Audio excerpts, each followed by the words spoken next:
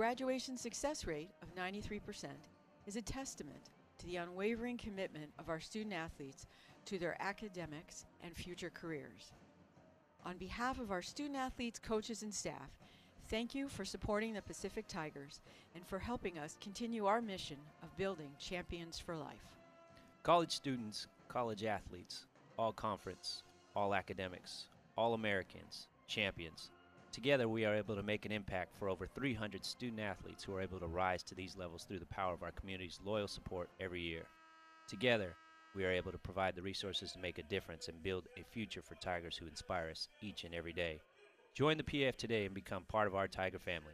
For more information on the PAF and how you can help support Pacific student athletes, call 209 946 2591 or check the website at www.joinpaf.org and join the uproar. Be a part of the uproar this season. Limited ticket packages for Pacific men's basketball are available now and are a great way to catch all the action in 2019 20. Can't make all the games? Call us at 209 946 2474 or go online to PacificTigers.com and learn about partial ticket plan options.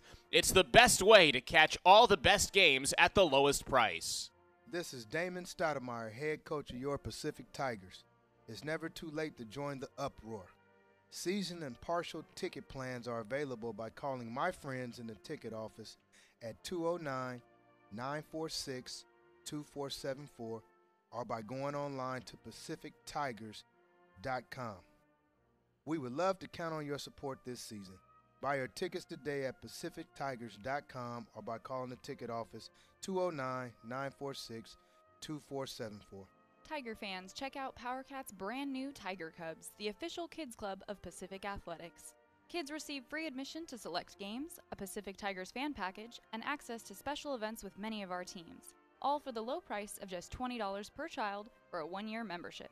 Visit www.pacifictigers.com slash tigercubs today to sign up. This is Bradley Davis, head coach of your Pacific Tigers. Become part of our team today and support your women's basketball program by joining an elite group of friends, family, and supporters who are part of our inner circle, known as the Center Court Club. This is your opportunity to join our team and get insider access that will support the program to compete against and beat the best in the country. Join Center Court Club today and become part of the Tiger family by calling 209 946 2591 or check the website at www.joinpaf.org. Unmatched passion. Incredible power. This trophy is not given, it must be earned. The National Collegiate Men's Water Polo Championship. December 7th and 8th at Chris Kjeldsen Pool Complex in Stockton, California. Right on the front doorstep, punches it in. Season opening and lets it fly. Visit ncaa.com slash tickets and get your tickets today.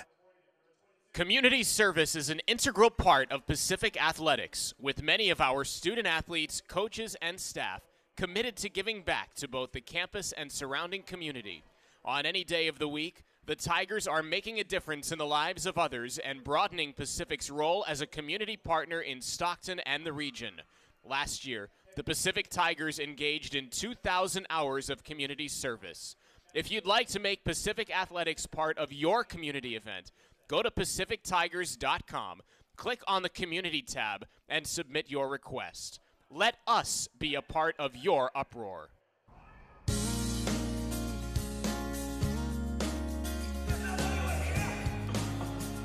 Back courtside inside the Alex G. Spanos Center, Zach Bayruti, Coach Bob Thomason. Glad to have you with us. We are moments away from the opening tip. The Pacific Tigers and the UC Riverside Highlanders, old Big West foes. And the starting lineup for the Tigers are about to be introduced to the crowd here at the Spanos Center. Uh, let's give you both starting lineups, and we'll start with UC Riverside under second year uh, head coach David Patrick, who had been at LSU.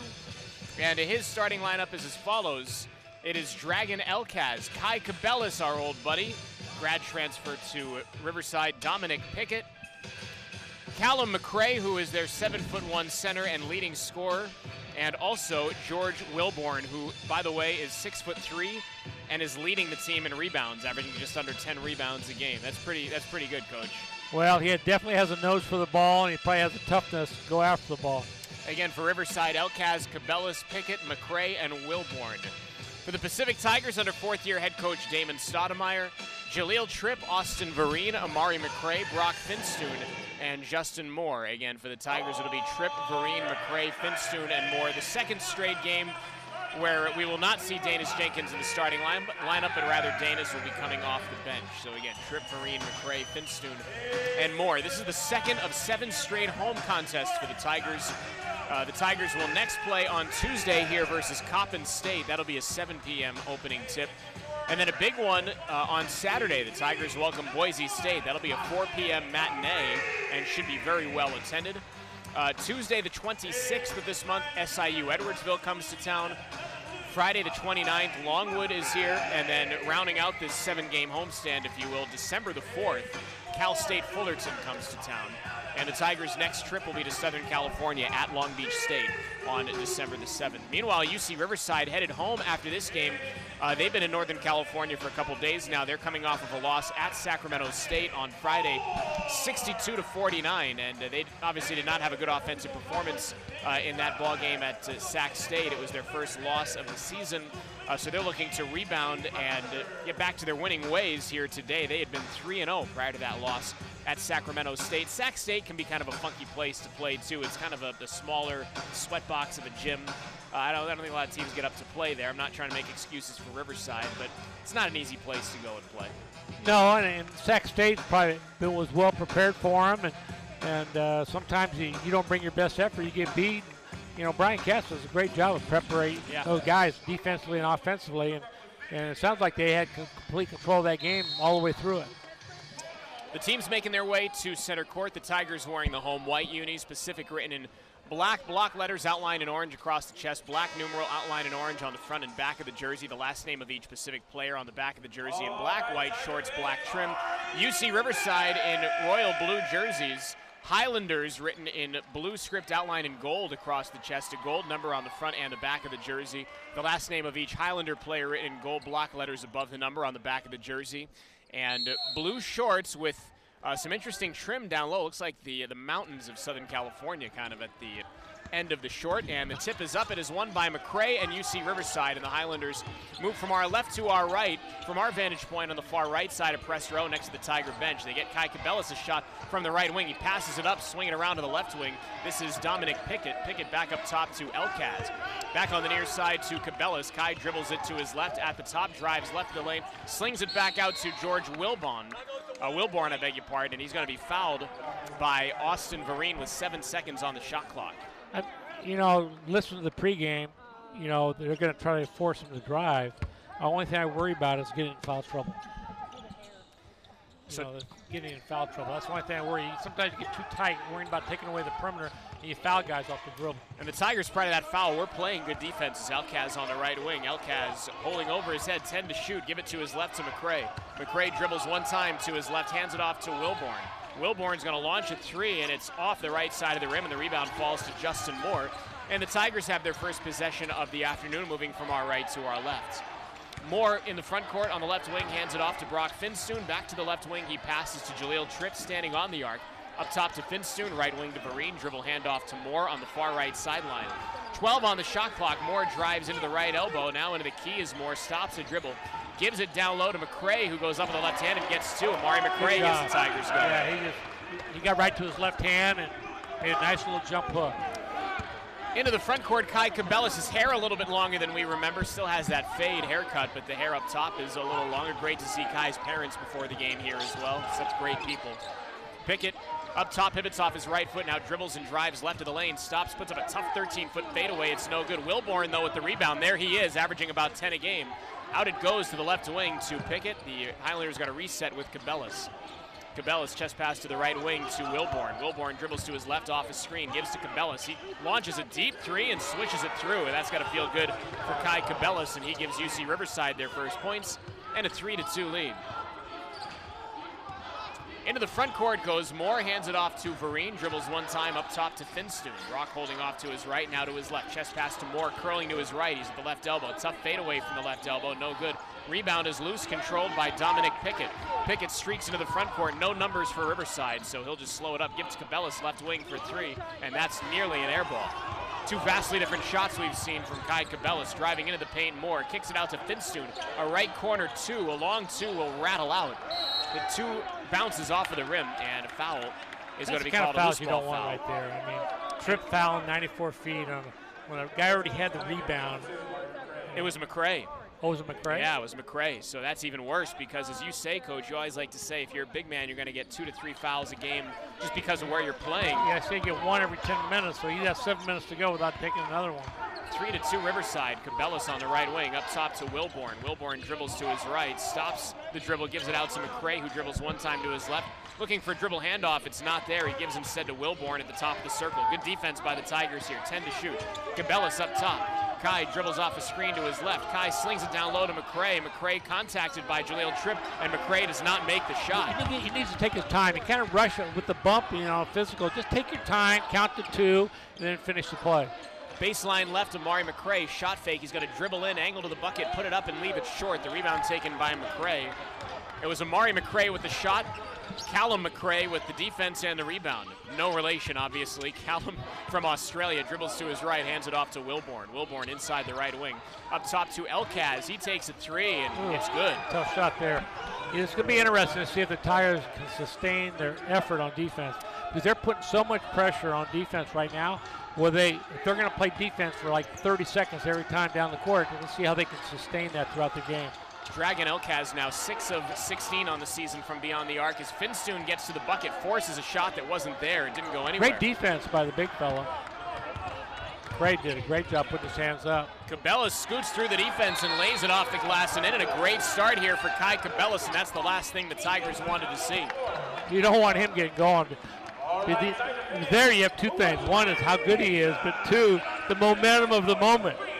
Well, Cabellis has five of the eight Riverside points, and it takes us to a timeout on the floor as the Tiger bench called a timeout, stretches to the media.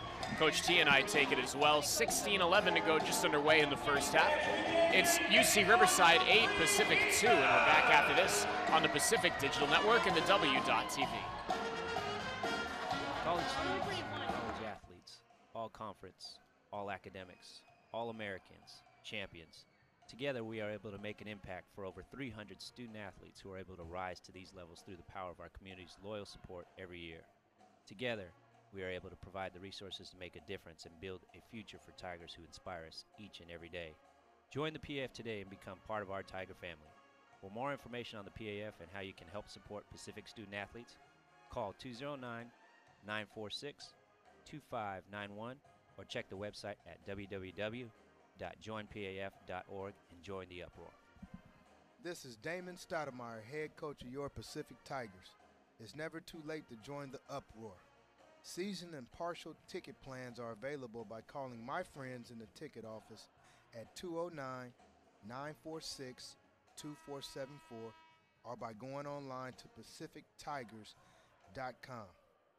We would love to count on your support this season. Buy your tickets today at pacifictigers.com or by calling the ticket office 209 946 2474.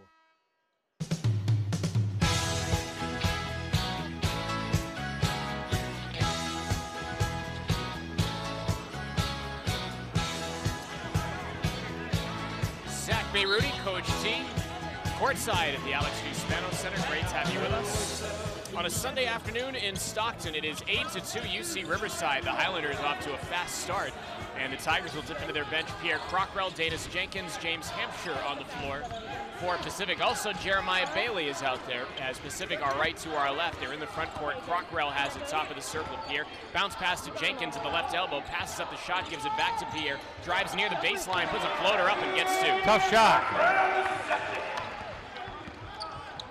Tigers needed a bucket, and they get one, badly needed.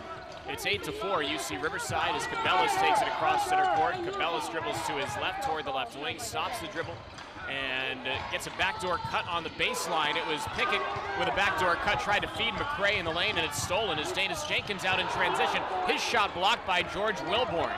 What a block by Wilborn, who plays much bigger than the 6'3 that he's listed. Pickett stops in the key, gives to Cabellis top of the circle. Kai dribbles to the far left sideline. Gives a bounce pass to McRae. McRae left of the lane, ball fake, dribbles it in. McRae looking to go over Hampshire. Two seven foot one giants, and McRae trying to put it over Hampshire, and the shot went nowhere. Tigers have the loose ball as Crockrell in the front court dribbles to the baseline left and then pulls it back out. UC Riverside 8, Pacific 4, under 15 and counting to go in the first half. Crockrell hands to Jenkins in the high front court. Now to Jahlil Tripp at the point. Tripp bounce pass left wing to Crockrell, dribbles it to his right. Crockrell guarded by Cabellis with nine to shoot. 8-7. Crockrell still with the dribble, drives it in. Crockrell lobs it for Hampshire, who misses the catch and lay-in, but he gets his own loose ball and goes up and gets fouled. That was a really nice by Colin pass. That was a really nice pass. It should have been a finish for the big fella. Beautiful pass by Crockrell, as coach just mentioned. He lobbed it, and it was to the lower right block Yeah, and thereabouts. James just kind of rushed it, you know, on the bank rather than just catch your time and finish it up. That was a good pass. You want to bounce balls to the post guys or you want to lob them to the post guys. What you don't want to do is shovel straight passes because the, their hands aren't good enough and kind of surprises them. Plus, the defense can deflect them. Hampshire's first one is up and short. UC Riverside dips into its bench for the first time. It's going to be Angus McWilliam and DJ McDonald on the floor for UC Riverside. you do it differently than everyone else, but I do it that way. Like where you just say who's coming in and out. They don't have to be like for certain people. Riverside has four guys from either Australia or New Zealand, so they kind of have that, uh, you know, St. Mary's pipeline kind of Well, thing David going, Patrick worked for St. Mary's. So he was the guy that started for Randy. So he's from Australia, I think. So he knows that area very well. I say that because Angus McWilliam is from Christchurch, New Zealand. Again, he's on the floor for the first time. As on the left side, it's Elkaz. Elkaz gives to his left to Cabellis. Kai dribbles to his right, takes a three, and it's off the mark. And the rebound taken by Jeremiah Bailey. On ahead to Crockrell up the far right sideline. Crockrell cuts it to his left. He's at the top of the circle. Chest pass to Jenkins, uh, to uh, Jenkins on the left wing. Give it left corner to Bailey. Shot fake off the dribble. He drives, has the ball stripped loose, but he gets it back. That was probably good they got it stripped loose. It looked like he was going to try to shoot that ball. Crockrell has it now baseline right. Pierre slings it in the lane to Hampshire. Goes up with a left hand baby hook. It's no good. They get his balance a little more. Kind of rushed it. But they've hit uh, James Hampshire now at close range a couple of times. You've got to figure it's going to pay off eventually. Cabellis on the right wing gives it up top to Wilborn.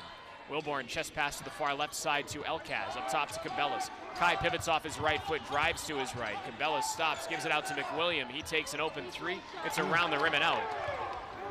Riverside 8, Pacific 4. The Tigers have it, and Crockrell at the top of the circle gives to Jenkins or tries to. Cabellis knocks it loose. He's out all by himself, and Cabellis lays it up and oh, missed oh, my it. goodness sakes.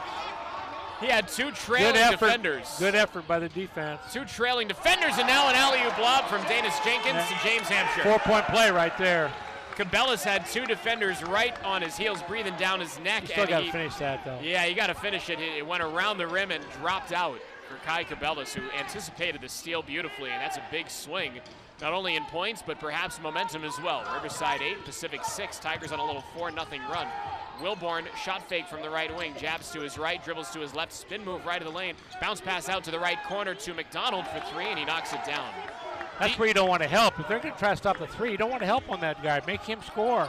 And they're helping, and they gave up a three. DJ McDonald, 41% from beyond the arc on the young season through four games for the Highlanders.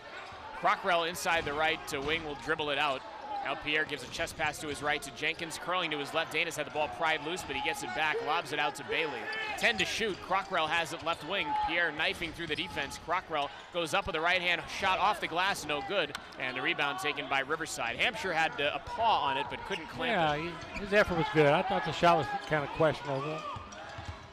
Cabellis behind the back dribble at the right elbow, driving through the lane, kicks it out left wing to Elkaz for three, and that's He has good. a great look shot right there. And Elkaz has made a couple here. He is two of two from beyond the arc. And with that, it's 14 to 6 Riverside, 11.50 and counting to go in the first half. Jenkins in the high front court gives to Jahlil Tripp. Tripp bounce pass to Crockrell on the left wing. Crockrell dribbles to his right, gives a bounce pass to a cutting Jahlil Tripp who gets to the 10, puts it off the glass. Great pass in there. Good finish. He took his time, went off both feet. Tigers could use Jahlil Tripp to come to life. It's 14-8 Riverside. Cabellis across the Power Cat logo at center court, dribbling to the near right wing. Kai hands it off to McDonald, up top to Elkaz. Left wing to Wilborn. Wilborn guarded by Tripp, up top to Cabellis. He's going to take a three, and it's around the rim and out. Another close call for Kai. He's had two of them look like they're going to go. Tigers have the miss. Now Crockrell zings into the lane to Hampshire. Hampshire pivots around a defender, Took lays it time. up and in. You know, he kind of fumbled a little. He just took his time, got his balance, and then finished. Great job. I have been impressed this season on the young season with James Hampshire. And Hampshire has four points, and he's had a couple of close calls, too. They've found the big man down low for a couple of uh, decent looks. 14 10 Riverside. Crockrell keeps on passing to him right at the basket. They're, he's going to have a good game. Trying to get it down low to McRae, stripped and stolen by Jahlil Tripper. that was uh, McCullum they were trying to hit. Now Crockrell on the right to elbow is going to drive it in, force one up. It's no good, but he's going to be lucky. bailed out with a foul called on Riverside. And Didn't it's like going to that be shot on. at all. Didn't like that shot, even though he ended up getting fouled. It's going to be on Kai Cabellis. He's played well, though. Crockrell's played well so far. So a timeout on the floor comes with 10:36 to go in the first half. Our score from Stockton: the UC Riverside Highlanders 14, the Pacific Tigers 10. Coach T and I are back after this on the Pacific Digital Network. This is Bradley Davis, head coach of your Pacific Tigers. Become part of our team today and support your women's basketball program by joining an elite group of friends, family, and supporters who are part of our inner circle, known as the Center Court Club. This is your opportunity to join our team and get insider access that will support the program when you walk to compete throughout against campus, and beat like the it's best almost in the country. one of those campuses Join where everybody kind of Club smiles at each other. and It's become just part of the welcoming. Tiger Everybody's so family welcoming. I feel like I'm coming home. One of the big strengths of Pacific is the small class sizes. I feel like I know all of my professors and that they know me. I hear stories all the time from people at the big brand name schools and how they wish that there was more personal interaction. I really like the environment that I felt at Pacific from like the first day at the Stockton campus. I just really felt like the professors actually knew who I was. It's family to me, and I can hardly wait to get up in the morning and get in my car and come over here and then see my friends, my colleagues as students. They become family to me. The students know that we care, that they matter in the classroom, and we know each of them by name. We realize that our first responsibility is to our students, and we have always taken that responsibility very seriously. So our first responsibility is teaching, our second responsibility is scholarship. It's not the other way around here.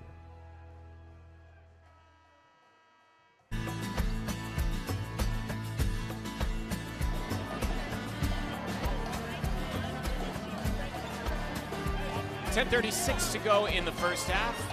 Zach Bayruti, Coach Thomason, and UC Riverside leading Pacific 14 to 10. Checking the early percentages, uh, the Tigers are five of 13 from the floor, not great.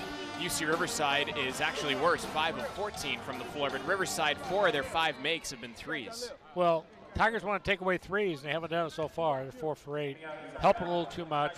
I thought one time uh, when Riverside turned the ball over, they tried to get the big guy, and the, and the shooter Elkaz was wide open in the corner. If they would have threw it to him, they might have had another three.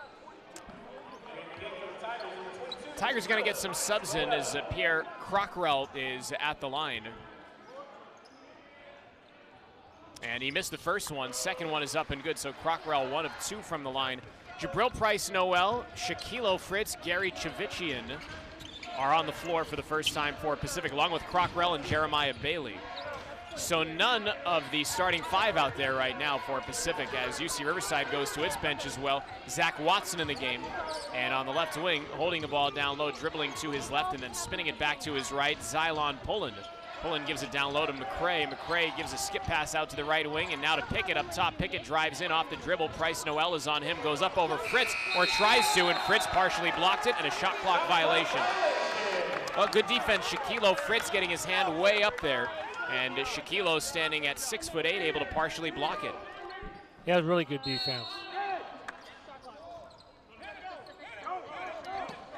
Price Noel, baseline left, will inbound to Oh, Moore, and some backcourt Come pressure on. creates a turnover as Zyon Pullin got the loose ball and then went up and got fouled. more. First of all, you got to be ready for a press.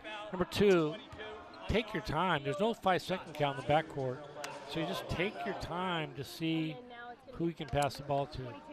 And uh, the foul is on Jabril Price Noel. Now, Moore was the guy a couple of games ago in Hawaii who had that cough up near midcourt, so the pressure may be getting to him a little bit. Well, he's probably surprised by the trap, but and you think the guy inbounded it, you can throw the ball back to him usually, but they went over and cut him off. So you just got to take your time. Second one is Both no free throws good. missed. And both free throws no good, as coach just mentioned. And well, Tigers dodge a bullet there as into the front court. Chivichyan on the right wing up top to Bailey. Dribbles one time, hands to dribbles to his left. Gary hands it off to Moore. Moore is going to knife through the defense, get to the baseline left, put it up off the glass, no. Off the mark, and the rebound taken by UC Riverside. Up the far left sideline goes Zyon Pullin, the freshman from Pleasant Hill. He's going to hand it off to Pickett. Dominic Pickett dribbles to his left, uses a head fake, gives it far side, almost out of bounds to Zach Watson, but he's able to save it and get it back in the high front court to Pullin. 13 on the shot clock. Pullin dribbles through the key, gives it to McDonald on the right wing. Nice crossover move by McDonald. Goes up over Fritz, high off the Wow. window, and gets two. Good, good defense by Fritz to come over there and challenge that shot. It was a tough shot. Yeah, uh, the Tigers made DJ McDonald run the gauntlet to get that shot, and he did, even to the very end where he had to get it over 6'8 Shaquille Fritz. Up top, Chivichyan dribbles to his left, shot fake from inside the left wing, gives it to Fritz, and now trying to get it to the far side to Price Noel. I've It's been pretty impressed away. with Riverside's defense so far this game. I mean, they've given up a couple passes for lobs inside, but their effort's been good. Their team's been good. They've been playing good defense. It was knocked away. I'm not sure who got the hand. I think it was, uh, I know who it was. It was Zach Watson got his hand on it. Out of bounds on the far side, so it'll stay with the Tigers. 12 on the shot clock. Amari McCray checks back in for Shaquille Fritz.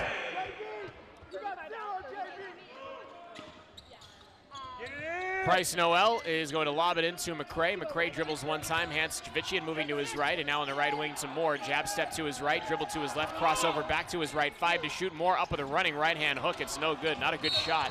And in the backcourt, it's going to be another foul on Amari McCray. It is.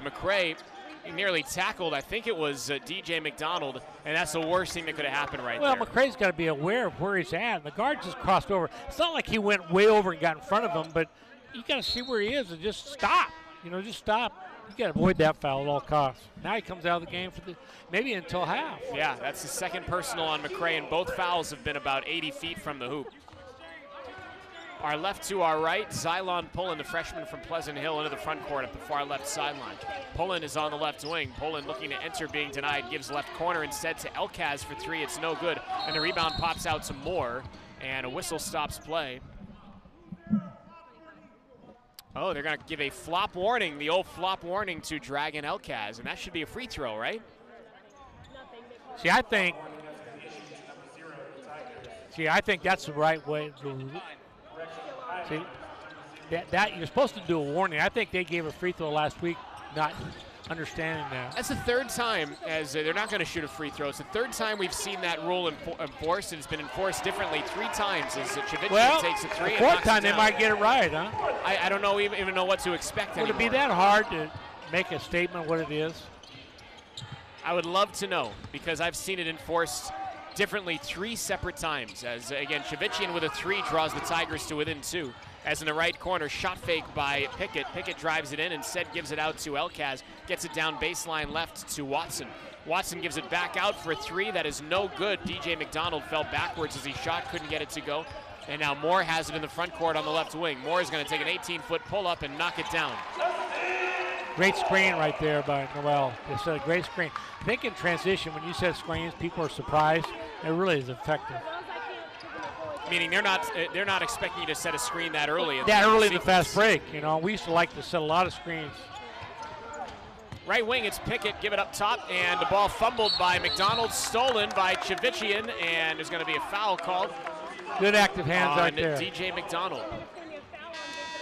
And uh, that's going to take us to a timeout on the floor here from the Spanos Center. This timeout comes with 7:27 to go in the first half. Our score: Pacific 16, UC Riverside 16 on the Pacific Digital Network. I've always wanted to come here since I was little. I remember I would pass by here when I was younger. We would come and take pictures or come for tours when I was like in middle school. And I was amazing. I, I was just in shock by the buildings themselves and the history of UOP and, and the people within it. It was just a beautiful place that I dreamt of I thought maybe one day if I work really, really hard and I'm good, I'm truly good at what I do, I might be able to get in. And I'm here and. Hi, my name is Lila Valencia and I'm a fine arts major here at UOP and this is my art studio.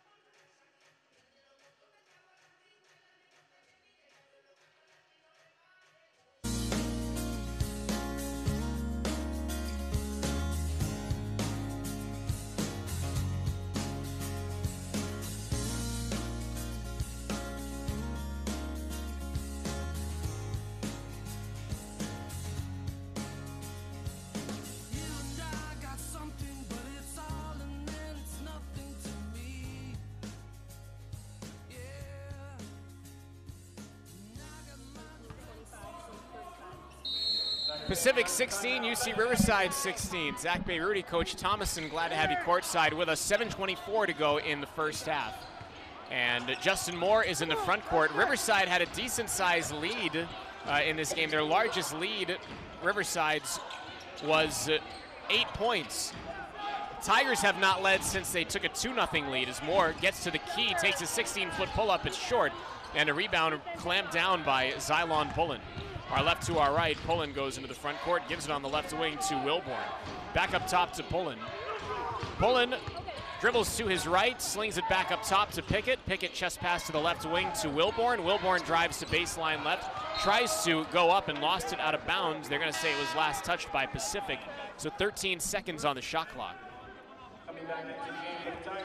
For the Tigers, Jahlil Tripp and Austin Vereen are back in the game. Jeremiah Bailey, Jabril Price Noel have a seat. Baseline left, it will be Pullin. Pullin holding over his head. Pullin looking to lob it in somewhere, gets it to McCray, left corner. Eight to shoot, and now seven. Up top to Pickett, who drives it in, going downhill, puts it high off the glass and in, and the Tigers just gave Pickett too much room that to was a nice left-handed floater, though, off the backboard. Under six and a half to go in the first half. 18-16 Riverside. Tripp hands it off to Chivichyan and dribbles to his left. Gary takes a long three. Swish. You know, they've been switching the perimeters, and that guy didn't switch at that time. He was out late. You never want to miss a switch on a good shooter. Tigers have a 19-18 lead. Their first lead again since it was 2-0. Left corner driving in is Wilborn. Wilborn gives it out to Pickett, right wing. Chest pass up top to Elkaz. And further left it goes to Pullin on the far left sideline. Pullin dribbles to the wing, now to the baseline. Pullin spins it back out, terminates the dribble, has nowhere to go, but gives a bounce pass across the way to McRae, who puts pass. it up and in. That, that should never happen. I mean, Fritz got to be in between the man and the ball and knock that down. I mean, the dribble was terminated on the baseline by Elkaz, and now Chivichyan feeling it takes a right wing three, no. Vereen elevates for the rebound, and he's pushed in the back. And it's going to be Elkaz with the push in the back. But I mean, if you if you have a guy that's terminated his dribble on the baseline, he's essentially trapped. You can't allow him to, to pass, especially Well, in the lane. not, not only the guy guarding the ball, but the guy guarding the man, he got he got above his man, so the pass went to him. He got to be below his man, so that can't happen. That pass shouldn't be able to happen. Baseline left, it is uh, Moore inbounding to Chivichyan left corner. Chivichyan gives it on the left wing to uh, Justin Moore, who dribbles it to near midcourt with 14 seconds on the shot clock. Moore drives to his left, now to the right elbow. Moore crosses over, drives to baseline right. Left his feet, nowhere to go. Gives to Chivichyan left corner for three. It's an air ball. Loose ball is gathered in by Zyon Pullin. Austin Vereen had a chance to get the loose ball, but had it slip through his paws. Dribbling to his left is Pullin. Pullin stops left of the lane, kicks it out right wing to Pickett. Shot fake Pickett drives it in, and he traveled. Had a jump step near the right elbow, and he traveled. I don't think that's traveling. No? He, he picked the ball up when his feet were in the air. You have you have the ability to come down on both feet. you, you can hit one foot down. As long as you're in the air. I mean, he didn't pick it up when he was not in the air, then, then hop. I'd, I'd have to see it again. To me, It looked funny, but I don't think it's traveling. Okay. I obviously respect your opinion highly. you're probably and you're probably right if history well, tells us anything. I bet you I'm right 50% of the time on that call. It's uh, down low. They go to Hampshire, who puts it up with a right hand baby hook and gets two. They find Hampshire again, coach, very close to the, the rim. Well, their penetration is creating those opportunities. 21-20 Pacific, 442 and counting to go in the first half. Our left to our right go the Highlanders, and in the front court they get it up top to McCray, the seven foot one big man.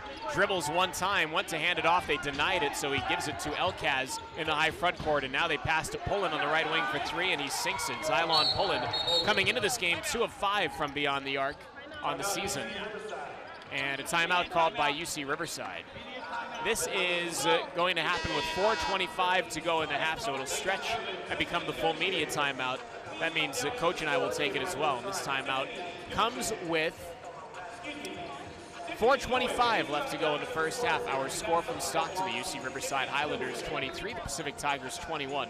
And back after this on the Pacific Digital Network. When you walk throughout campus, like it's almost one of those campuses where everybody kind of smiles at each other. It's just welcoming. Everybody's so welcoming. I feel like I'm coming home.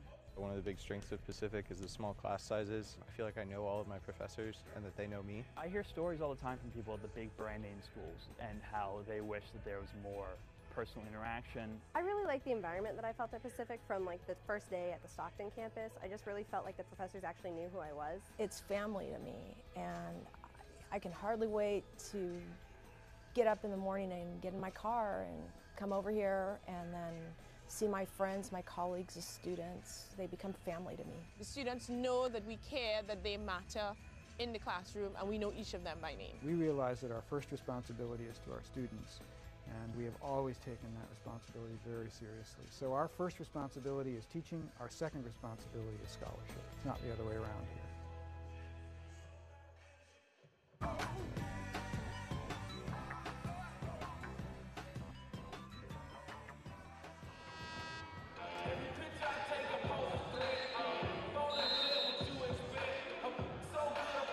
4.25 to go in the first half.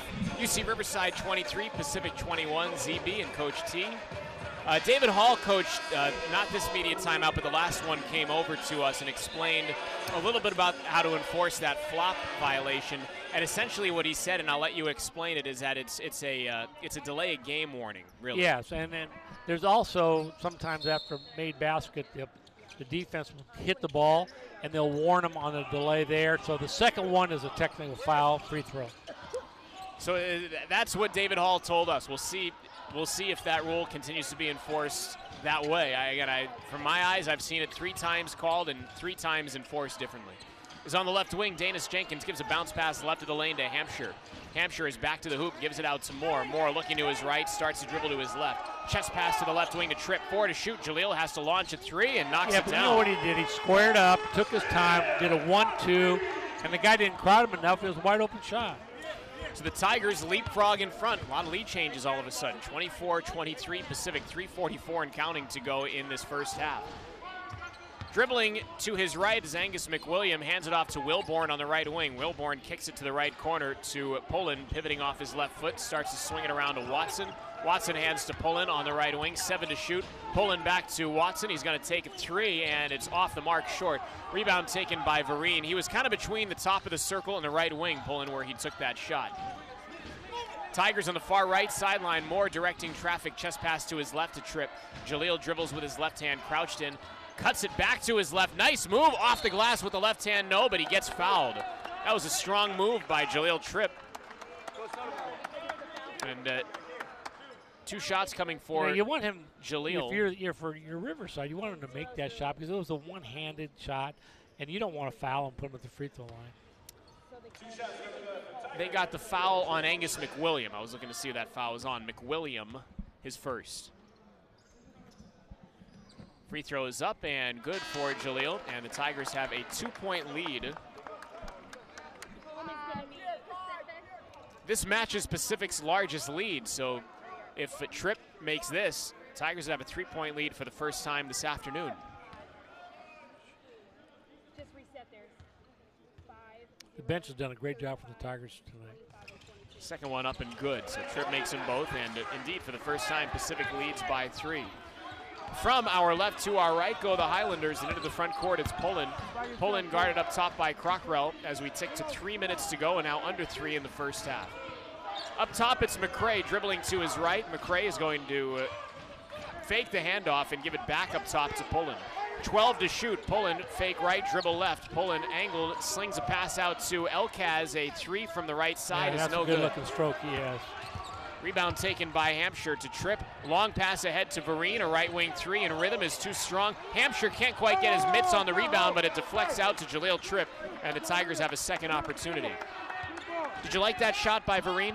Well, I mean, he hasn't had a.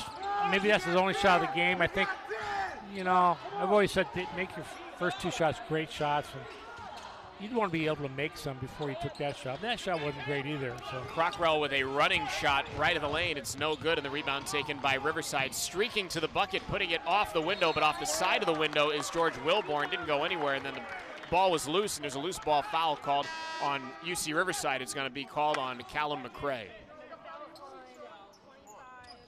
And for McCray, that is his first foul of the game. Tripp inbounds to Vereen. Some light backcourt pressure applied by Riverside, but Tripp from our right to our left will take it into the front court as the pressure subsides. Under two minutes now in the first half. Jahlil goes downhill, stops, pivots from about 10 feet, takes a Oh, fadeaway jumper, shot. and knocks it down. Jahlil Tripp has nine points, and the Tigers continue to build on their largest lead of the afternoon. Pacific 28, Riverside 23. Lob it down low, baseline left to McCray. McCray passes out to Elkaz on the left wing. Elkaz uh, will get it down low to McCray. Turn around got too shot with the left hand got is good. deep. He should do that more often. I mean, I, it's, it's like he's a little nervous about trying to score in there. Talking about McCray, the, uh, Yeah. the seven foot one sophomore from New Zealand. I mean, he's leading 14 points a game. He look like he's he's looking that much. Backdoor cut. Broc Finstuen received a nice bounce pass from Crockrell, but Finstoon went up and lost a handle on the ball. I think he was looking for a foul. Riverside has it, and in transition, they will slow things down. They did not have numbers. 28 25 Pacific on the right wing. Pickett feigns an entry, keeps it on the perimeter, gives it to his left to Pullin. 14 seconds. Pullin's going to go in on Vereen, put it up, and Good no right good. there. The foul is going to be a blocking foul on Vereen. I didn't know if they were going to call it, but I think that was a good foul. That was our buddy Sir Alan Connor, who, by the way, I think is uh, he's not missed arm day at the gym since we last saw him. Sir Alan Connor, the uh, the official. That shirt, the uh, the sleeves of that jersey are hanging on for dear life. He's I- been hey, you know, believe it or not, I kind of like the new referee uniforms this year with the black sleeves. Yeah. looks like a little more stylish. especially for a guy like him. You know, it might make up and good. referees look a little better. Anything make them look better, I'm all for. I don't think Sir Alan Connor has a problem physically looking better. No. He's done tricep extensions No. pretty much all winter, or all summer, I guess.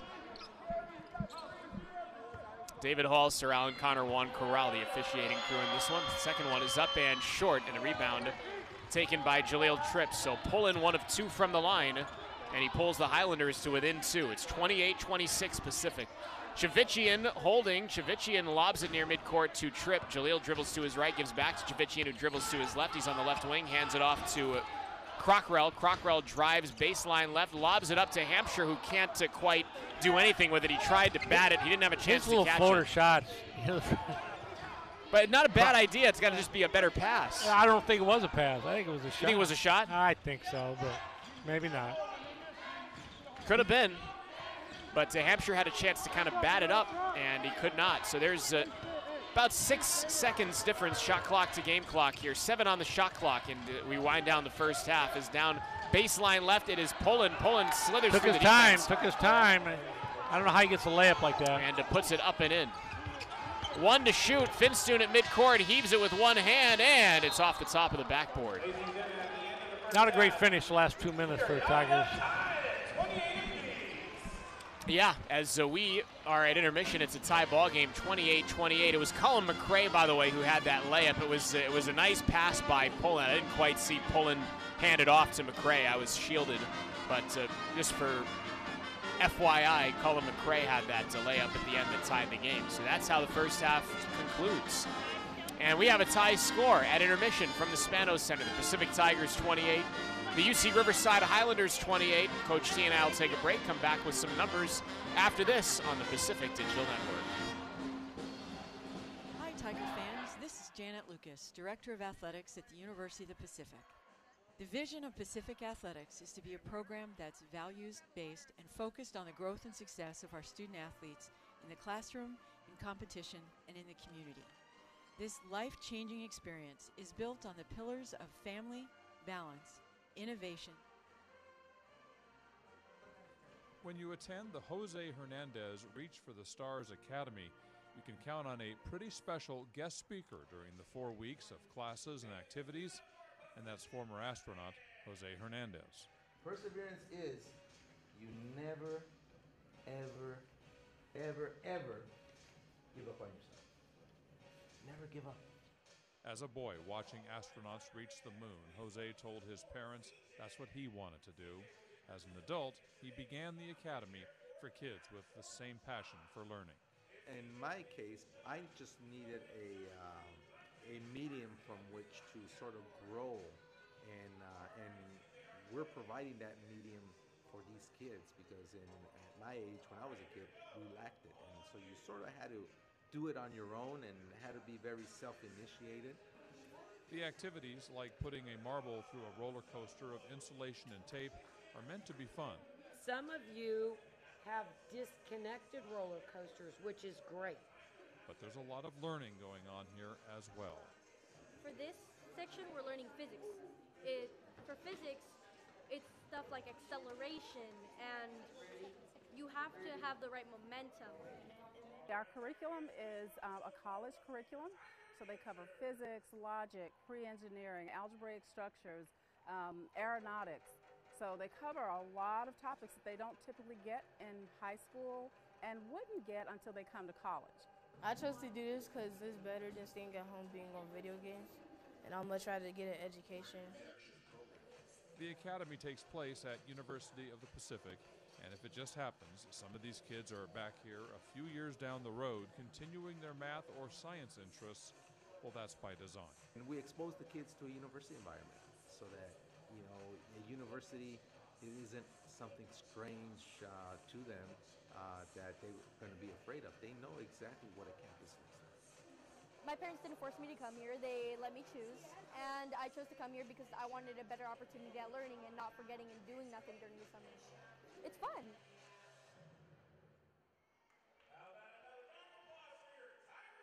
My name is Brinley Barthels. I came to Pacific because I was actually looking at water polo programs, and it was one of the better programs in the state. And they also had a great, a great science program. So their biology and chemistry departments, especially, were very rigorous and something that I knew would prepare me well for my future.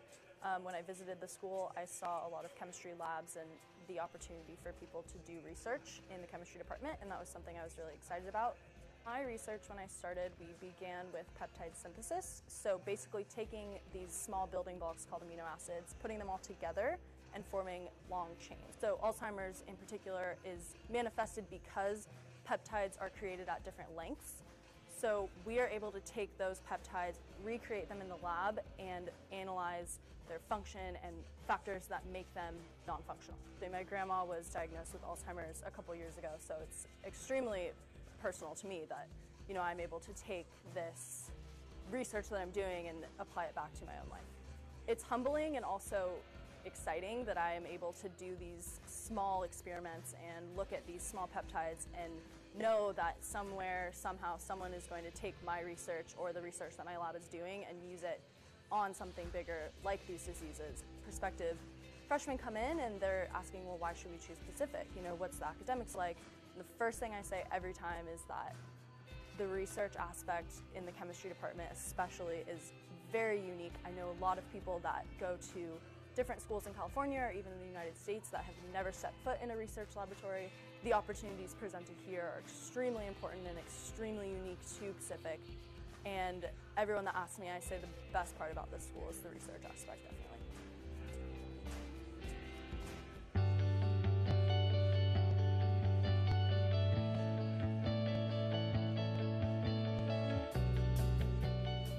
Communication skills are key not only because I'm a communication major, but even our students who are not communication majors, they learn a lot. If you had an interest in politics or maybe uh, being some type of sports manager or something along those lines, communication can lead you to do those types of things.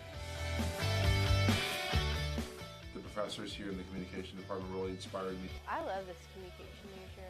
I was so glad that I took it. I'm on the speech and debate team and I'm a communication major. Being on the speech and debate team also gave me like a lot of opportunities outside of, uh, you know, outside of just scholarship opportunity, but like traveling and networking. We did really well this semester. We won almost every single tournament we went to. A lot of what I do here at Pacific is help with the radio department. I help broadcast some of the games as well as host my own show. Just get to be a part of something that I've never thought I would do. The class I'm taking right now, writing for media, we've done some script writing. It's been a pretty interesting process, actually one of my favorites. I just did a social media project um, for one of my classes, so I learned how to use each of the platforms and what type of language I'm supposed to use on all of them. I joined the speech and debate team and found out this whole world of communication that was everything I'd enjoyed research, looking up concepts, understanding people, and I was like, this is perfect. Everything we do is communication, from nonverbal communication to intended messages to the things we wear. Communication is the essence of everything.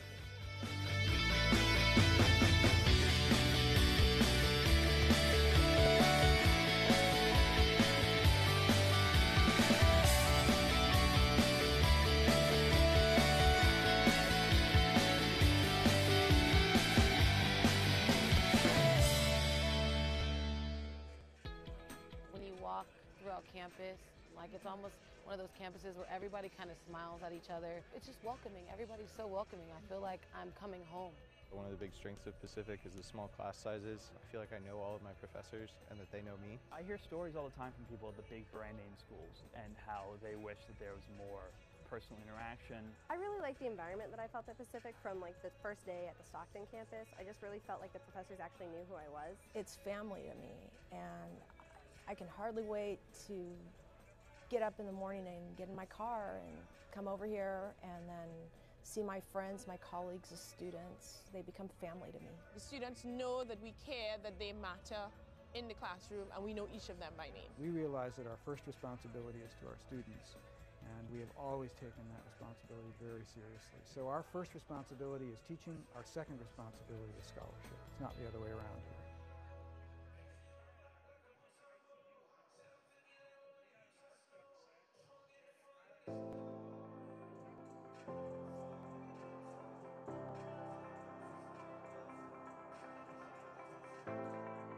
Chose UOP because of the small classroom sizes. I love the idea of the professors, you know, the old slogan, they know who you are, they know your name, and it's more of a friendly, more relaxed atmosphere.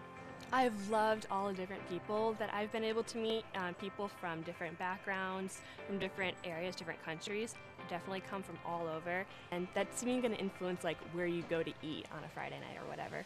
So like all the different food choices, and then Stockton provides a lot of opportunities for you to go and try new things.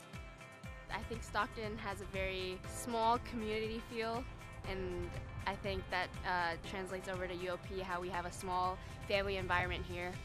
Also at Weber Point, that's where they hold lots of festivals out there. Um, just um, this year they had the fireworks over there for 4th of July, and it was really nice to go over there and see the city come together and hang out. I, don't, I can't imagine being anywhere else.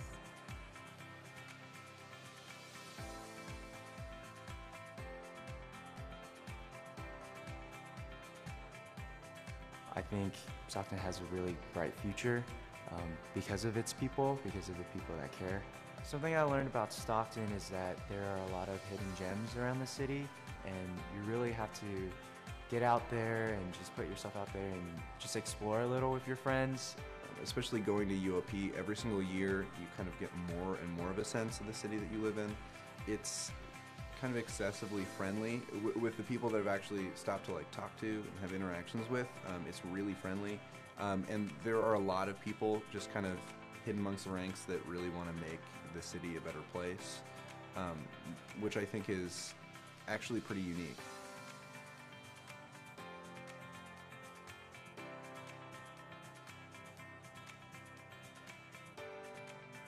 I think it's a very personal decision where you decide to go to college and spend those four years of your life. At Pacific, you know you'll get a great education, but you'll also have a really good time. You'll be a part of a really strong and thriving community.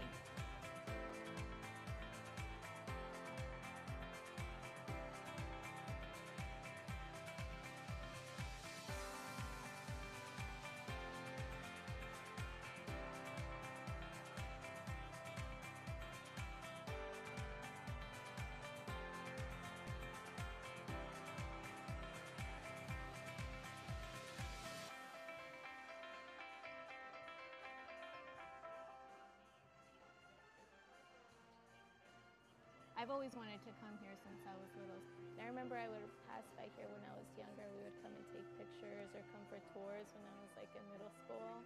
And I was like, whoa, this is amazing. I, I was just in shock by the buildings themselves and the history of UOP and, and the people within it. It was just a beautiful place that I dreamt of.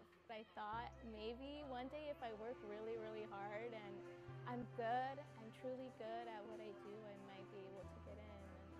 And I'm here and I love it.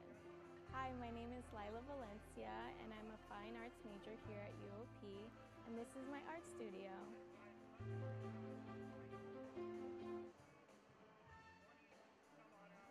The University of the Pacific is a comprehensive university that integrates liberal arts and professional education, serving approximately 6,000 students on campuses in Stockton, Sacramento, and San Francisco. Our goal is to provide a superior student-centered learning experience in order to prepare our students to become leaders in their communities. Because we believe that diversity, equity, and inclusion are essential to the fulfillment of our institutional mission, we seek to recruit and retain diverse faculty who share our commitment to excellence in teaching, scholarship, and service. Founded in 1851, the University of the Pacific is California's first chartered institution of higher education. The Sacramento campus houses the McGeorge School of Law and also offers programs in public administration, public policy, education, and physician assistant studies. San Francisco, which houses the Arthur A. Dugoni Dental School and graduate programs in audiology, data science, and food studies. Stockton is home to our undergraduate liberal arts college, the graduate program, and schools of education, engineering, business, international studies, music, pharmacy, and health sciences. Stockton was recently recognized as an All American city and is one of the most integrated and diverse cities in the U.S. All undergraduates must complete one diversity course as a key curricular component of Pacific's commitment to diversity and inclusive excellence. Faculty engage in teaching, research, service, providing students with experiential learning opportunities such as undergraduate research.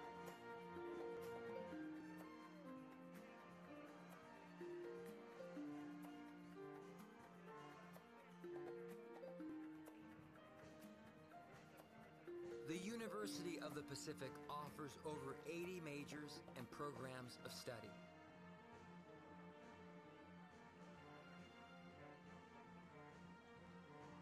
The Pacific community is a place where all are welcome, and diversity is celebrated and recognized. Here at the University of the Pacific, all members of our community, students, staff, and faculty are valued and respected. Therefore, I'd like to welcome you to join us in our ongoing collaborative efforts to sustain and advance the inclusive excellence of our campus. Thank you.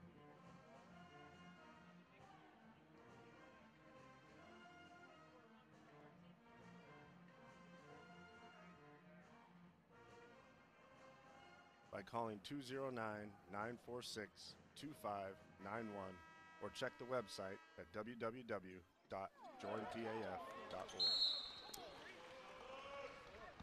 These teams 28 as we are about to start the second half. Zach Rudy, Bob Thomason, glad to have you along. 20 minutes back on the clock. And a 28-28 tie.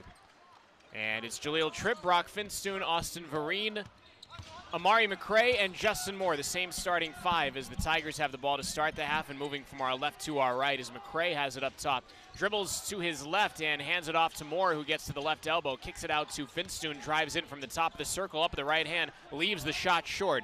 And a rebound taken by UC Riverside. The Highlanders moving from our right to our left as Wilborn on the right wing, or left wing, will give it up top to Cabellis, who dribbles to the left wing, guarded by Finstuen, slips a bounce pass down low to McCray.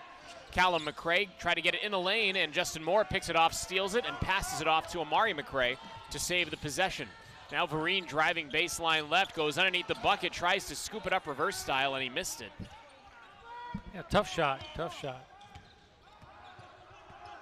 Cabellis is on the left wing, drives to the baseline left, tries to feed it out to McCray, stolen by Jahlil Tripp. It's a two on one. Tripp's going to take it himself and go up with the right hand and get fouled, and he's going to get to the line.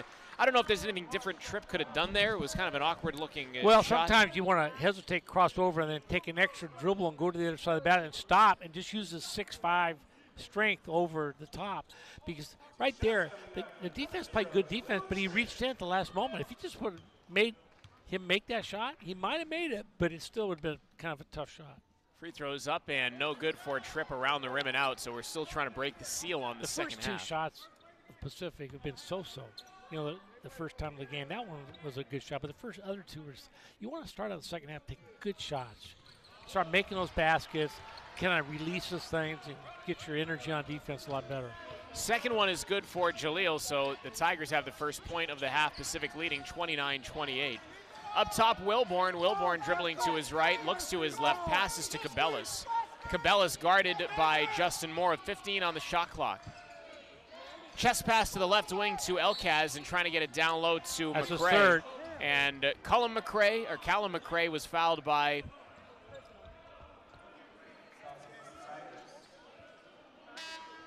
Who is it on? McCray. It was on McCray. It was on Amari. Yeah, that is his third. Those kind of fouls are going to happen during the night. That's not the ones taking him out of the game. It's the two from 94 feet. And you wouldn't want to go in. To me, they should have gone inside the first couple plays to him to get him going before he does get in foul trouble. Baseline left, it is inbounded to Callum McRae, who goes to the left wing and then gives it up top to Pickett. Dominic Pickett drives. Pickett trying to get around the defense. Nice uh, defense by the Tigers to recover, and now Pickett's trapped on the baseline. Give it to Cabellis, who is trailing, and Kai puts up a runner and gets nice two. shot. Good backdoor pass. Looked like it was going nowhere for Pickett, but Cabellis came as, a, as an outlet and was able to receive the pass and knock it down to give the Highlanders the lead here in the second half. 30 to 29, UC Riverside as Moore gives a bounce pass to Vereen, curling to his right, Very and uh, nice Austin shot. puts it up and in. Very nice shot. Good curl off the baseline screen. 18 minutes and counting to go in the second half. It's 31-30 Pacific. Dribbling to his left is Wilborn. Wilborn probes into the lane, puts up a tough shot that is no good, and a loose ball goes out of bounds. He stayed after it though, and he got the ball. Oh, Yeah. they changed it. That last touch by Pacific, I think it went off the foot of Vereen.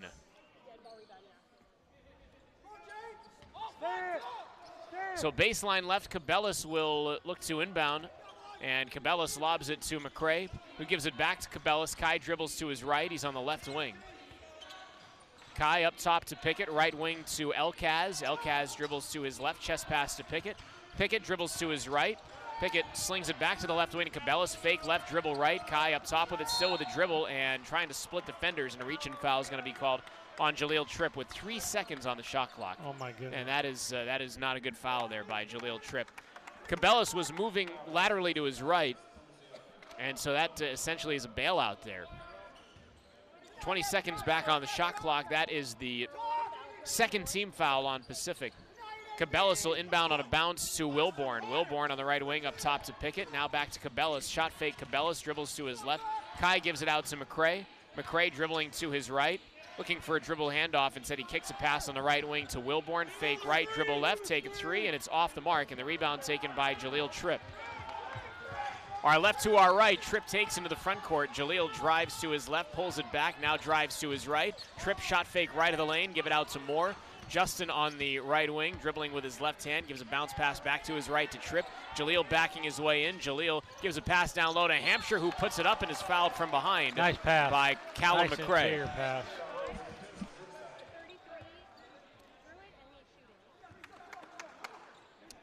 The, the great interior passing continues to get the ball to James Hampshire. Well, when you penetrate in there, people have to help, and there's going to be openings. And there's two parts of it. One, find the guy, but number two, the center is doing a good job creating space and, and allowing the guy to make, make that pass. Hampshire's free throws up and good. So that ties it at 30. I'm sorry, gives Pacific a 32 30 lead.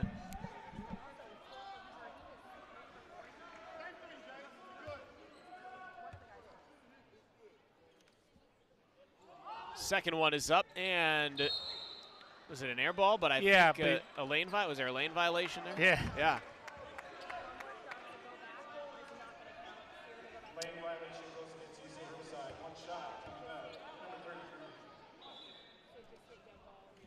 McCray stepped in too early. Now Juan Corral's going over to David Hall. I'm not sure what those two were talking about. Want to get on the same page about something, but uh, coach, you're saying it was uh, Callum McCray that got in yeah, there he early? just stepped I didn't see too who it was. He- you know,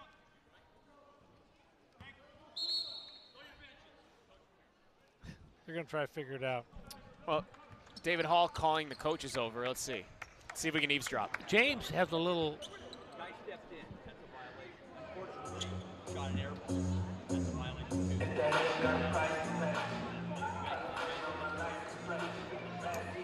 So what, what David Hall is saying is that there's a because James Hampshire shot an air ball, that's a violation too. So it's a double violation. It might go the, the jump ball. Might go the jump ball. And it goes to jump ball, the arrow, and it's Riverside's ball. Okay. But the only good thing about it, Pacific will get the next.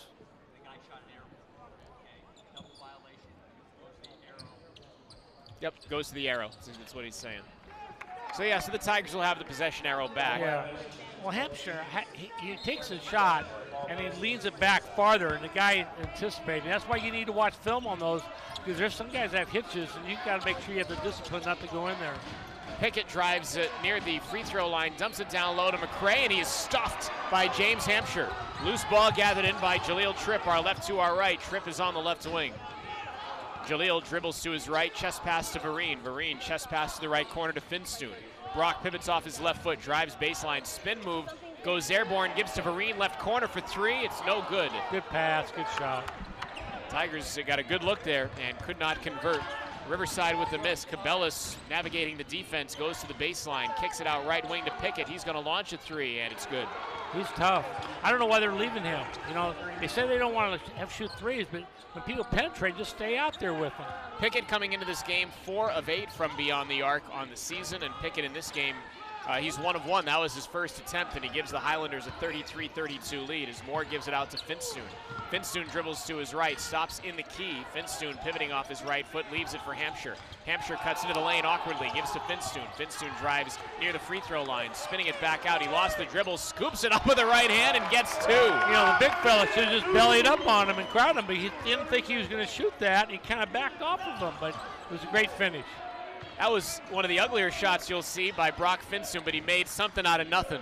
And a big bucket for the Tigers, who lead by one in this back and forth game as Cabela dribbles to his left. Slings it off to the right. It's knocked away and out of bounds last touched by UC Riverside. They were trying to hit uh, Wilborn on the far side. You got to throw it to where people are, not where you think people are.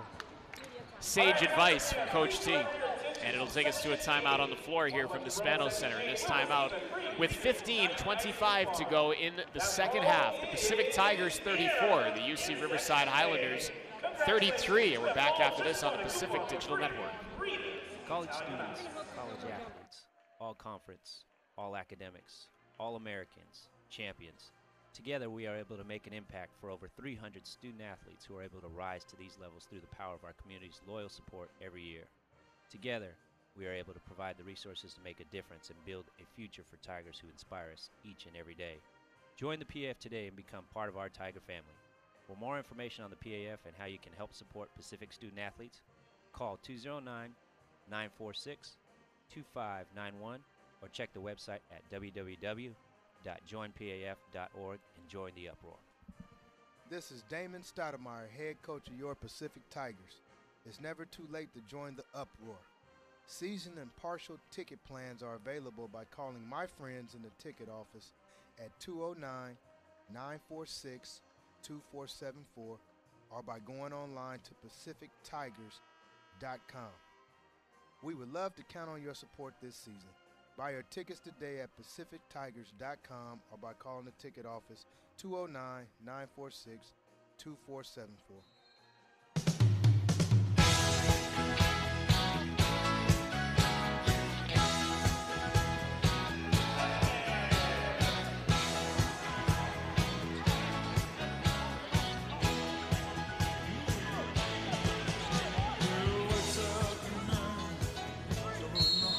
Fifteen twenty-five to go in the second half.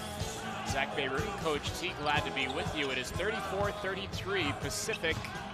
And Daniss Jenkins is back on the floor for the Tigers, and Jenkins will take a dribble handoff and dribble to his left, hand it off to Justin Moore, dribbling to his right, takes a pull-up from the right elbow. That's no good. Can't get better shot short. than. Pretty good shot. Great screen. Now Wilborn in transition in the thicket of the Tiger defense gives it out to Pickett up top. Pickett holding by his left knee, now dribbles to his left. Pickett on the left wing, chest pass back up top to his right to McDonald. Further right on the far right sideline, it goes to Wilborn. Wilborn driving it in, awkwardly leaning to the bucket, threw up a brick, and it went nowhere except off the bottom of the backboard. Looked like he was looking for a foul and didn't get it. Yeah, he was trying to draw contact as Moore cutting across the key, dumps it down low to Vereen on a backdoor cut, and Vereen will run in to a Riverside player. That is Angus McWilliam, and it's going to be a blocking Moore. foul on McWilliam. You're kind of waiting for Moore to do a little more more than he's been doing today. He's Nicely such a done. good player and he's got great stats this year. But that was a great shot he took that last time. Good screen, good dribble rub action, and there's nothing you can do as a coach there. You got the guy you wanted to shoot the ball, and he shot it, and he missed it. 21 seconds remain on the shot clock. 14:40 to go in the second half. It's 34-33 Pacific. Moore has it and holding down by his ankles. He uses a screen, dribbles to his right, gets through the defense, off the window with the right hand. No, couldn't quite get the That right was a good angle on shot, that though. bank shot. Riverside with it, trailing by one. Pullin is uh, near the left wing. Now he cuts through the defense, scoops up with the right hand. No, but he does get fouled. And uh, Zyon Pullin will get to the line. Good crossover. And it's going to be James Hampshire with the foul. So Pullin's going to the line. And this season, Pullin is two of two from the stripe. In this game, Pullin is one of four from the line. He has, in fact, shot all four UC Riverside free throws in this game. And again, he's one of four. The free throw is up and good. Crockrell and Bailey check in for the Tigers. By the way, I don't mean to take you down memory lane in a bad way. Come Really, on now. Pacific all-time versus UC Riverside is 13 and 3. The last Tiger loss at home to Riverside came on January 7th, 2012. That was a 64-57 loss, and that was the last time Pacific lost, period, to Riverside. So the Tigers have won Yeah. five straight meetings. The worst loss Riverside was about five, six years before that, when the year that we ended up being really good when we lost in the NCAAs. 2009. But it was an opening league game. We lost to them, and they weren't very good. Now we were worse than they were that day, that day, but but uh, we ended up winning the league after losing our first game at Riverside. Well, after the second free throw was made by Pullin, it was uh, an inbound pass, and there was some pressure from UC Riverside, and the Tigers. That's twice they've, they've turned the ball over. And the Tigers lost the ball, and then uh, James Hampshire committing a foul in the backcourt, so it goes back to UC Riverside. Wonder if that might cause Riverside to pressure a little bit more. As on the right side, it is McDonald. Well, they've been McDonald doing top to free throws, they- you know, a couple times after free throw. They've only made a couple free throws tonight, so they can't do it on missed free throws. Cabellis up top. Kai guarded by his former teammate Jeremiah Bailey goes off the dribble, puts it off the window, Oh, and what, a, in. what a great shot. Kai Got to stay down on him and take his left hand away. I mean, Bailey just kind of lifted up like he's going to challenge the shot. Cabellis now with nine points, and uh, he leads the Highlanders in the, points category. is uh, Jahlil Tripp up top, Riverside leading by three now, 37-34. Tripp head fake, drives it in, gets to the baseline, scoops it up with the right hand. No, James Hampshire gets the ball and then gets mauled. Wasn't quite a loose ball foul. I thought Hampshire it. fouled first, and then he got definitely fouled. But they pass on those things a lot when two guys are going for a rebound. So Angus play. McWilliam is the guilty party for UC Riverside. The Highlanders have committed four fouls, as have the Tigers. Ty's having a good game, especially coming into this game. He's three for 15. He hasn't done much in all four games. Crockrell slaps the basketball baseline left till inbound. 20 on the shot clock. Chivichyan who's back on the floor. Back to Crockrell who puts the ball on the hardwood. Crockrell backpedaling with the dribble. Now at an angle, directing traffic. Coming toward the near sideline, gives a bounce pass to Jenkins on the right wing. Jenkins fake left, dribble right, gets to the baseline, give it out to Bailey. Bailey with four to shoot, staggers in, takes a fadeaway from 16. It's no good, and a rebound taken by Pullin. Wasn't a very good possession that time. Pullin driving into the front court, almost lost a handle on it, gets it back, and now up top to Cabellis, who has nine points. Kai drives into baseline right, stops, try to pivot around Bailey, gives it out to McDonald.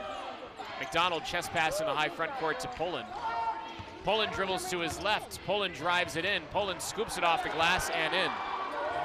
Zyon Pullin, the freshman from Pleasant Hill, makes it a five-point lead, and now a distance pass to Daniss Jenkins was almost out of bounds. Jenkins saved it, flung it over his head, but it's a turnover as Riverside gets Oh, it back, and McDonald launches right a three, and it's no good from the left wing. That would have been a big, huge shot right there.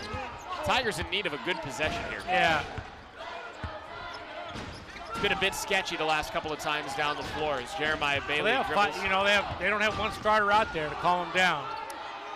Crockrell on the left wing. Crockrell starts to angle in and gets through the defense. A nice move, and he lays Ooh. it up and in. Crockrell, a little Tough shot, hesitation. tough shot. I wouldn't worry if I was Riverside. I wouldn't worry about tough shots. Same with Tigers. Tough shots never beat you. It's just, just easy shots. 39-36, Riverside by three is up top. It's McWilliam dribbling to his right, hands it off to McDonald. McDonald, a nice bounce pass Good to McWilliam. He's blocked good by block. James Hampshire. James Hampshire continues to be a solid presence on the floor for the Tigers, and it uh, is going to take us to a timeout on the floor. Riverside will retain possession with 11 seconds on the shot clock. When we come back after this timeout on the floor, and from the Spanos Center, it comes with 11:51 to go in the second half. UC Riverside Highlanders 39, Pacific Tigers 36 on the Pacific Digital Network. This is Bradley Davis, head coach of your Pacific Tigers. Become part of our team today and support your women's basketball program by joining an elite group of friends, family, and supporters who are part of our inner circle, known as the Center Court Club. This is your opportunity to join our team and get insider access that will support the program to compete against and beat the best in the country. Join Center Court Club today and become part of the Tiger family by calling 209 946 2591 or check the website at www.joinpaf.org. The University of the Pacific women's basketball season is underway, and we have a limited amount of courtside seats available. Give us a call at 209 946 2474 or go online to PacificTigers.com and learn how you can watch the Pacific women's basketball team play this season from the best seats in the house at the Spanos Center.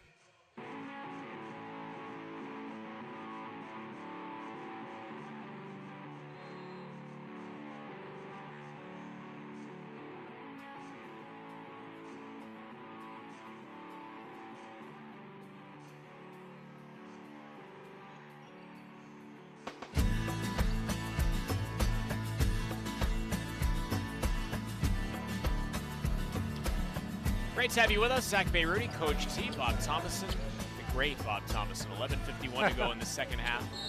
39-36 Riverside. Baseline right. It is Pullin going to inbound, and uh, Amari, McCray doing Oh. jumping jacks in his face, and the ball gets into the backcourt, and it was touched by Bailey, so no backcourt violation, and Riverside able to get it back.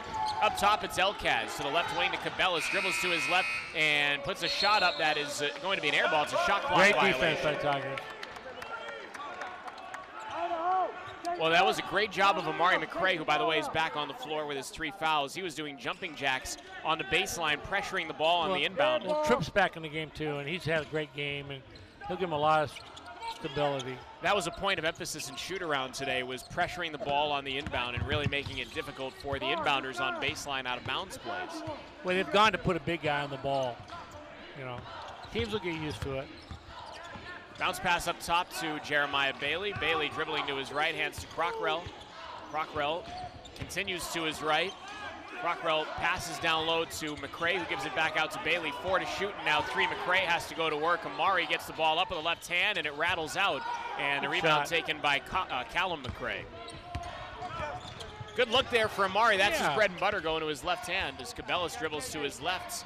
Kai spins it back and gives it out to Pullin. Pullin chest pass up top to Elkaz. And now on the right wing to McDonald. McDonald dumps it to McCray. McCray drives, tries to feed it back out, stolen by Crockrell. It's a three on two. Pierre gives it to Tripp coming right down Broadway, and Oh, great Jahlil lays it up great and pass. Great finish. In. 39 38, UC Riverside by one. 10.35 and counting to go in the second half. From our right to our left, Zyon Pullin, again, the freshman from Pleasant Hill, gives to Cabellis driving in from the left wing. Kai has the ball stripped by Bailey, and it's stolen by Tripp. Tripp head up into the front court. Tripp trying to go in on Cabellis. He puts it up. The shot won't count. No continuation. The foul was well before the shot. And the foul is going to be on Kai Cabellis, who is trying to stay with his former teammate, Jahlil Tripp.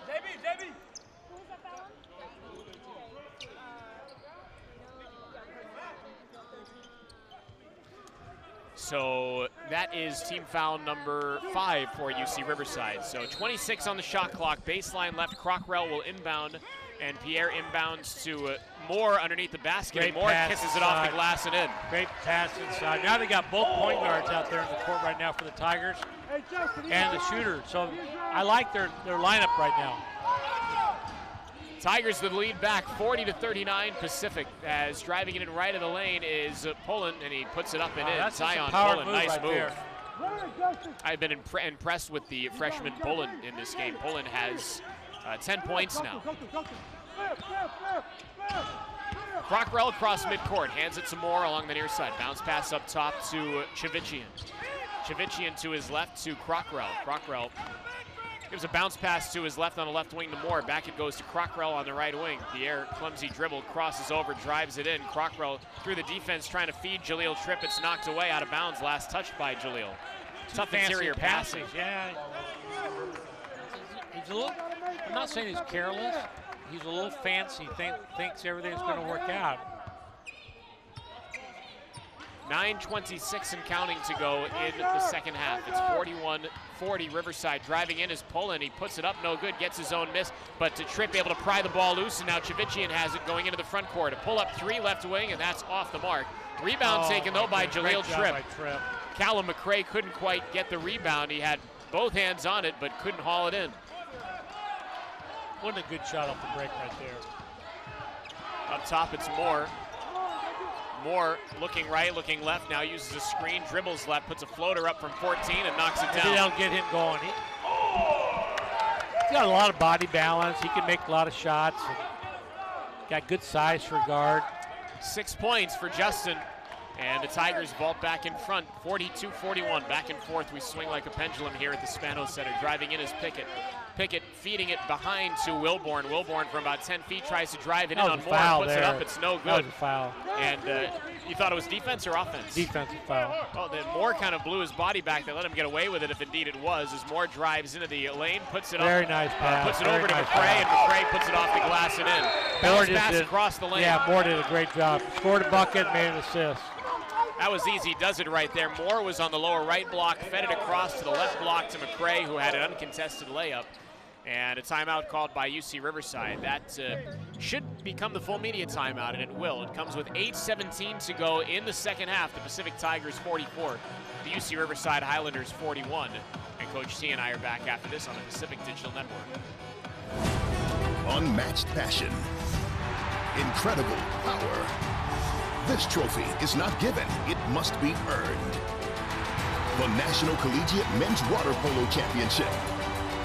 December 7th and 8th at Chris Kjeldsen Pool Complex in Stockton, California.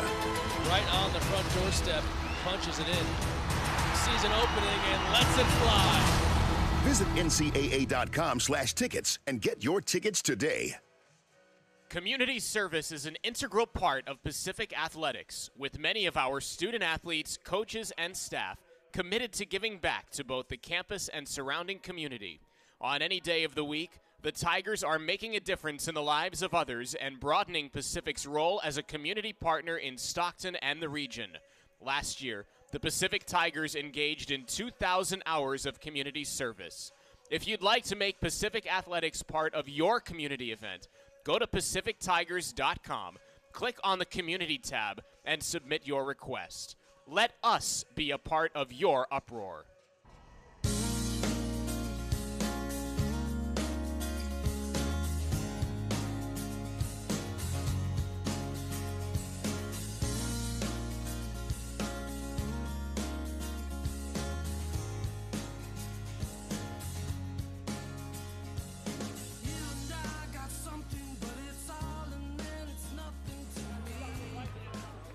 8.17 to go in the second half in regulation. Pacific 44, UC Riverside 41. It's been a back and forth affair here at the Spanos Center. Our right to our left, Zyon Pullin into the front court up the far right sideline. Gives it up top to Elkaz. Back to Pullin on the right wing and a whistle away from the ball and a foul is going to be called on Amari. Amari McCray. And that is his fourth. And James Hampshire comes back in, and Amari has just been thwarted by foul trouble in this game. He's got to get his hands off of him when he's trying to fight around him. Baseline right, 21 seconds on the shot clock. Inbound to Callum McRae. And back to the right corner, it goes to Pullin. Pullin having a big second half as Elkaz now with it up top. Gives to Pickett on the left wing. 12 on the shot clock. Pickett dribbles to his right. Gives a bounce pass to McCray. McCray in the short left corner driving in on a Hampshire and goes up with a wow, you can't let him go glass. baseline like that. Just cut off the baseline. Make him shoot a 10 footer over you. 44-43, Pacific by one. Chivichyan pressured, and he gets it up top to Moore, who gives it to his left to Tripp going downhill. Lobs it up Oh. for Hampshire, who catches and Great with job. two hands flushes it through the cylinder. Great job. Great, uh, great offense there for the Tigers while being pressured. That's something that's not come easy in this game. Left corner, it is Pickett. Pickett dribbles one time, gives to Pullin. Pullin dribbles to his right. Pullin gives on the right wing to McDonald. Oh, McDonald's going to put a terrible floater shot. up, goes nowhere. But uh, McCray gets the loose ball, tried to throw it off of Hampshire, then- did not go out of bounds, and then. Hampshire gives a loose ball foul. How did he not get that ball?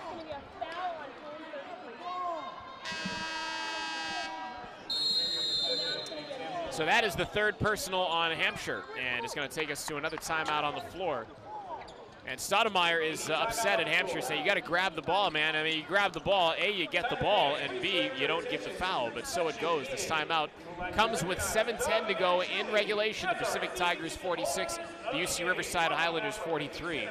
Coach T and I back after this on the Pacific Digital Network. Brand new Tiger Cubs, the official kids club of Pacific Athletics. Kids receive free admission to select games, a Pacific Tigers fan package, and access to special events with many of our teams. All for the low price of just $20 per child for a one-year membership. Visit www.pacifictigers.com slash Tiger Cubs today to sign up. Be a part of the uproar this season.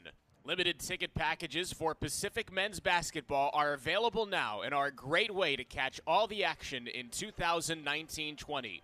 Can't make all the games? Call us at 209 946 2474 or go online to PacificTigers.com and learn about partial ticket plan options.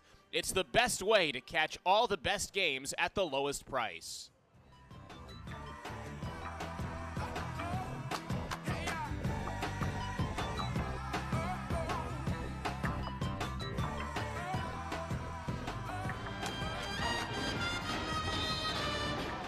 Zach Bayruti, Bob Thomason, glad to have you along as with 7.10 to go in regulation, Pacific 46, UC, Riverside 43.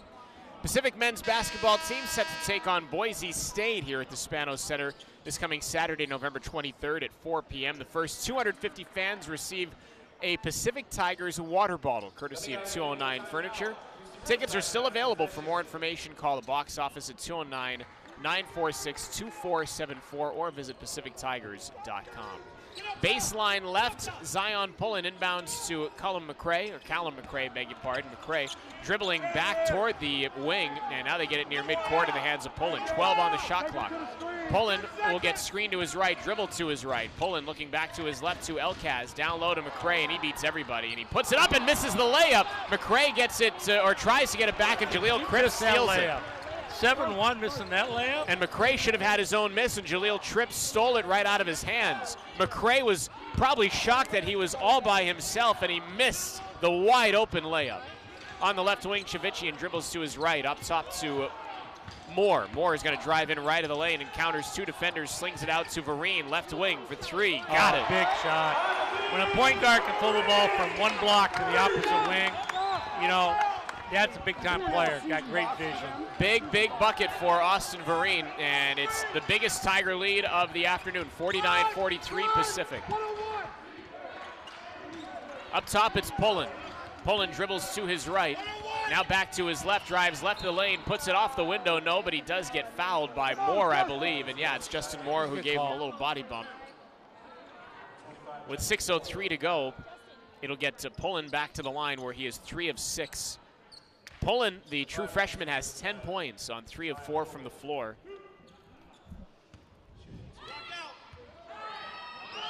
First one is up and no good. That was a bad miss by Pullin.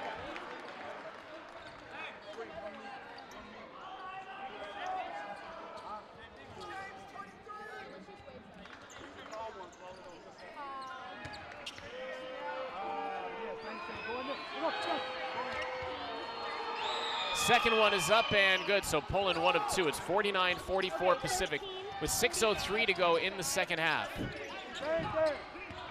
Our left to our right, Jahlil Tripp across the center court stripe.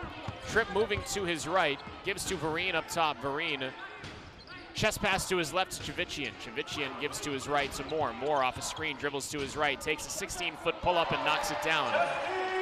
51-44 Pacific. 5.40 and counting to go in regulation.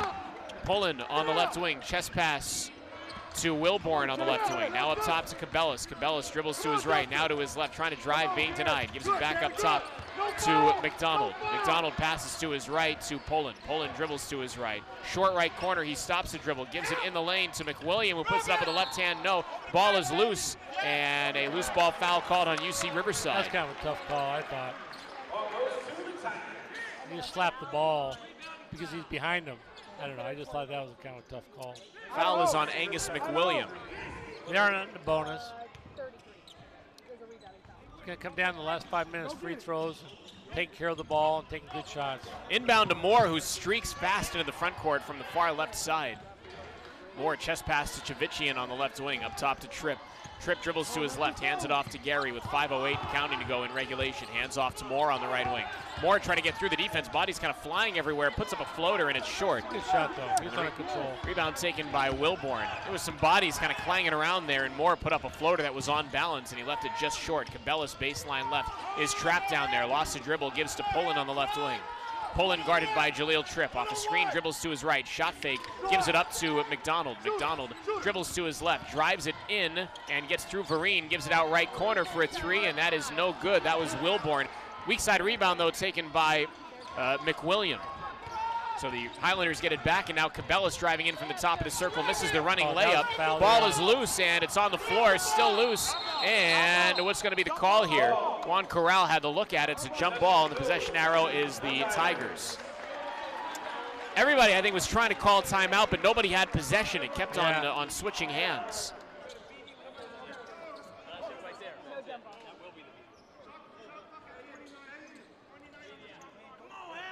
It's going to be 29 seconds on the shot clock, says uh, Juan Corral. And this will be a this will be a media timeout. There's a jump ball, right? Yeah. I don't know how one second comes off the shot. I don't either. You could ask your buddy David Hall. We'll, we'll tell you when we come back. I, I don't know. When we come back after this timeout on the floor, it comes with 4.25 to go in regulation. The Pacific Tigers 51, the UC Riverside Highlanders 44 on the Pacific Digital Network.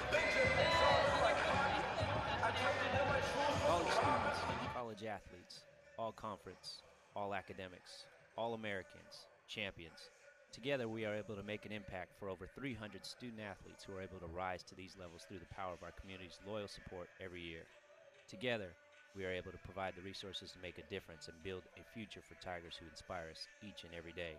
Join the PAF today and become part of our Tiger family.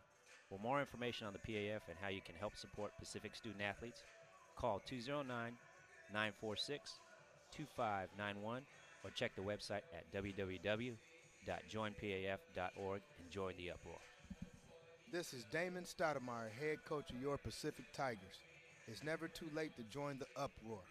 Season and partial ticket plans are available by calling my friends in the ticket office at 209 946 2474 or by going online to PacificTigers.com. We would love to count on your support this season. Buy your tickets today at PacificTigers.com or by calling the ticket office 209 946 2474.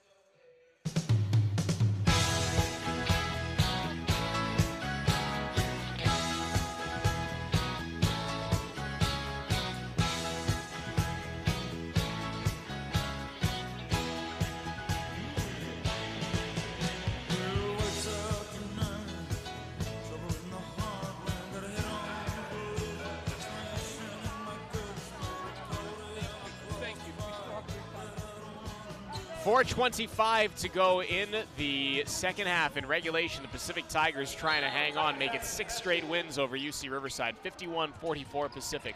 It'll be Jahlil Tripp to inbound to Vereen, and there was some pressure on the inbound pass. Riverside uh, subsides the pressure, but uh, Tripp clumsily dribbling into the front court. He almost lost a handle on it. My goodness. It became one-on-one pressure with uh, George Wilborn guarding Jahlil Tripp, and uh, they almost caused the turnover. 10 seconds on the shot clock as Moore has it in the high front court. Moore kicks it to his left to Chivichyan. They're right up on him. Back to Moore. Five to shoot, and now four. Moore realizes three, two, one. He has to take a running shot. It is going to clang off the right side of the Not rim. a great possession right there. Come out of the timeout. 51-44 Pacific, 348 to go, and now Williams, or rather Pullin, I should say, for three, and it's good. the, the screen, and when you're up, you know you don't you don't want to go underneath screens. Allow them to shoot a three-point shot. Zyon Pullin, the true freshman now with 14 points. And he is booing the Highlanders. We're going to find out the last four minutes here, their execution, and see how they can handle it and calm down. Times this stage of the game has been a problem for the Tigers. Obviously, going back to the Hawaii game, especially. Driving is uh, Moore, slings it out to the right wing to Tripp. Seven to shoot. Jahlil's going to drive to the baseline right, put up a fadeaway Very and nice knock it down. shot. Big shot by Jahlil Good balance. 14 points now for Jahlil. He's leading the way for Pacific, their only double figure scorer. 53 47 Pacific. Up top, it is Wilborn. Pass to the right to McDonald. McDonald in the high front court cuts the dribble to his left. Chest pass to his left to Pickett. Now in the left corner to Wilborn, driving in on the baseline. Wilborn stops the dribble, pivots it out, gives to McDonald, back left corner. Seven to shoot, six. McDonald is going to try and drive to the baseline, puts up a tough fadeaway. It's around the rim and out. Good Great defense. defense. Chivichyan, good D, and the bench is letting him hear about it. 2.34 and counting to go in the second half. 53 47. Tigers by six. Tigers have led by as many as seven. Riverside has led by as many as eight. As Moore up top dribbling to his right. 10 on the shot clock. Moore cuts it back to his left. Drives into the lane. Puts it up with the right hand. No, the ball is loose. Controlled by out. Vereen. An offensive rebo- rebound. Should be a reset or was 20 on the shot clock. That's the new rule. Yeah. You get 20 on the shot clock. It just looks a bit funky. And uh, now a foul is going to be called on Riverside. You know, Moore can make those floaters, he has so much room. You can stop and just take a little eight-foot jump shot too. I don't know if every shot has to be a floater. Uh, Wilborn fouled him from behind. That is the seventh team foul on the Highlanders. This will be one and one. With 2.07 to go in the second half. One and one for Jahlil Tripp.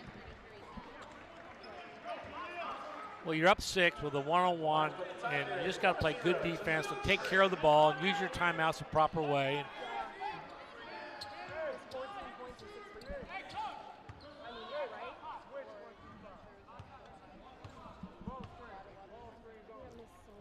Free throw is up and good, so Jahlil gets another. 54 47. So if the free throws made here it would give the Tigers their largest lead of the day.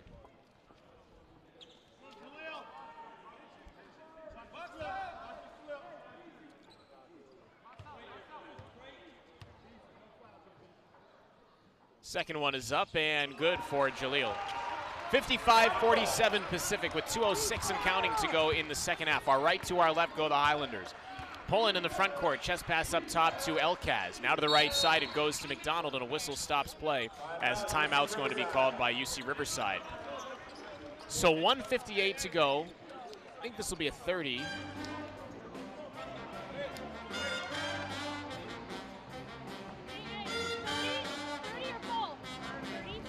Is a 30 second timeout called by UC Riverside. So coach and I will keep it here. And uh, if you're Riverside down by eight, a minute 58 to go. I mean, you've been down by eight with a lot less time and come back. Uh, what's uh, what's David Patrick thinking here? Well, I think they're going to have to get the free throw line or shoot threes. You know, if you get to the free throw line, you're going to stop the clock and you can set up your press, maybe get a steal.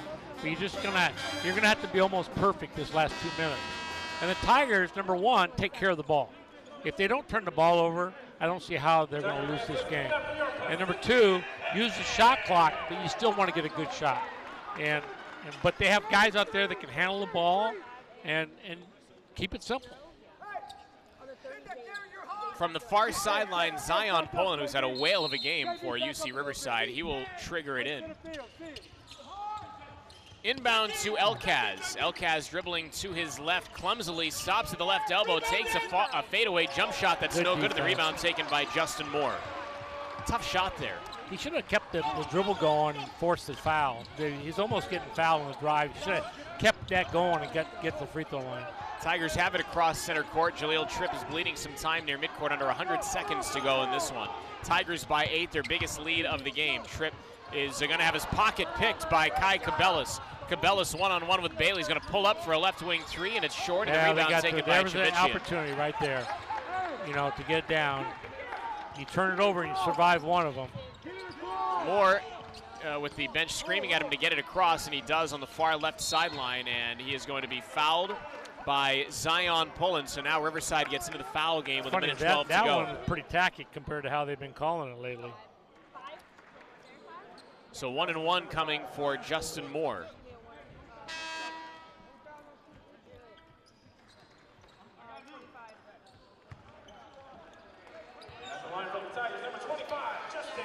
These or this, I shouldn't presume the second. This is Moore's first free throw of the game.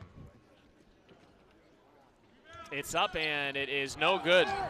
So missed the front end of the one and one. He's going to have to make him this year because when you're a point guard, Now pulling for three, it's no good. Well, Zyon two Pullin threes. had a good look. if you think those two threes would be a two-point game, so that's how close it could have been. And Chivichyan passes it to the far sideline to Moore, who has it across center court. 54.1 to go, and he'll be fouled. I think Tripp needs to get back there and handle the ball more than Chivichyan. I mean, he I- did a nice job bringing it up and passing the ball, but he's more of a two guard that doesn't handle the ball. I think that's what uh, Stoudemire was screaming, get it to Jahlil, or get Jahlil back there. Well, Jewel can't go hide. I mean, you got to take responsibility going back there and help people bring the ball up. So Moore has a mulligan here. Coach T doesn't know about those. Free throws up, and it's good. You never take mulligans. I've known that for a while. There's times I wish I had about five of them. 56-47, Pacific by nine.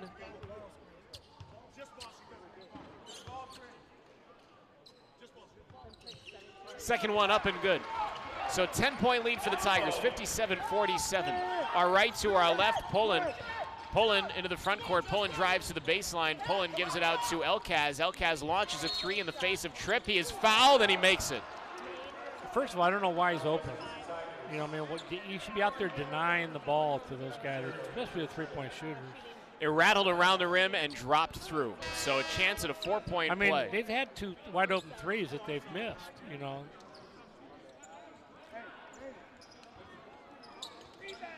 So Elkaz, this is his first free throw attempt of the year. well, he's a designated three-point shooter, so It's up and good. He's a nice looking shooter, I tell you that. This is a tough sub right now. You know, Jenkins really hasn't played too much, and they're going to put him in at the end, of the game here to handle the ball. Now they are putting him in for a big guy, not a, not another guard. Jenkins checks in for uh, Jeremiah Bailey. So it's 57-51 Pacific, 44 and a half seconds to go. Pickett checks in for UC Riverside, and Elkaz comes out. So defense for offense. Jahlil, we got three of them. Tripp baseline left will be the inbounder, and Jahlil's going to call timeout. They have three timeouts. Justin, you gotta get open.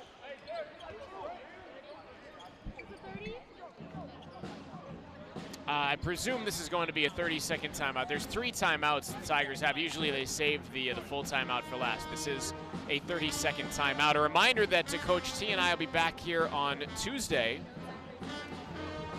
Is that two nights from now? Yep. Yeah, wow. Tuesday, Coppin State. 7 p.m. the opening tip. Coach T and I have the pregame coverage at 6:45. Last time the Tigers played Coppin State, Coach mentioned the last game was in Puerto Rico. Beat them? No, they, beat, they were tough. They beat us. They were tough. Fang Mitchell was the coach, and he was the coach a long time there. I don't think he's still coaching, he, but if he is, it'd be great to see him. Yeah, well, we'll check on that. Uh, yeah, 7 p.m. opening tip. We'll have the pregame here on the radio and the W.TV. 57-51 Pacific, 44 and a half seconds to go. Tripp looking to inbound, and Tripp inbounds to Chivichyan on the baseline. Gary is being pressured, looking for an outlet, gives it to, on the far side to Jenkins, flings it into the front court to Jahlil Tripp.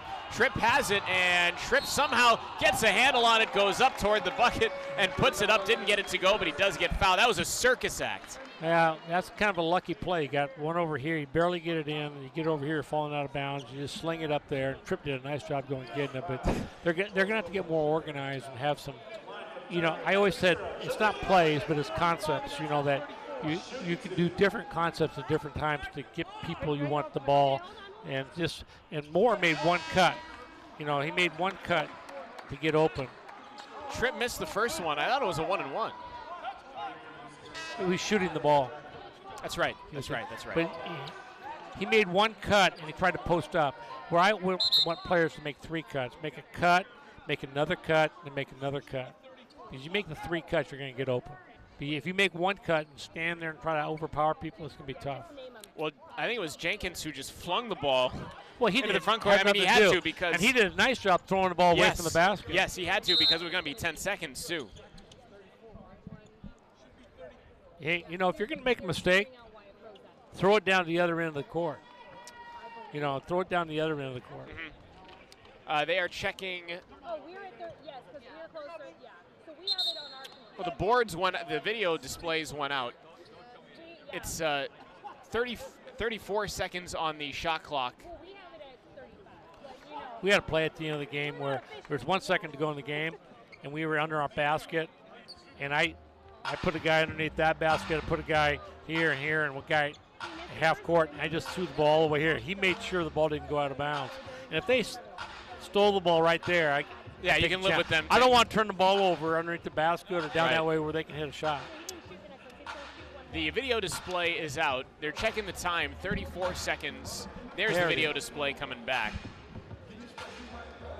Um, so 34, the officials were checking to make sure the time was right. It is 34 seconds to go in the game. I think one Tigers have to make more free throws. I mean, more missed a one-on-one, Tripp missed free throw. Those guys are going to have to make free throws because they're the ones that are going to be up the line at the end of games. But those guys played great coming down the stretch. They made some good, big-time plays. Second one for Tripp is up and good. It rattles in. So 58-51 Pacific. Our right to our left, UC Riverside will advance into the front court, trailing by seven. It's uh, Pullin. Pullin to McCray to Pullin. Pullin on the right wing is going to drive into the baseline and get rejected by Vereen. An emphatic rejection, clean block by Vereen with 23 and a half seconds to go in the game.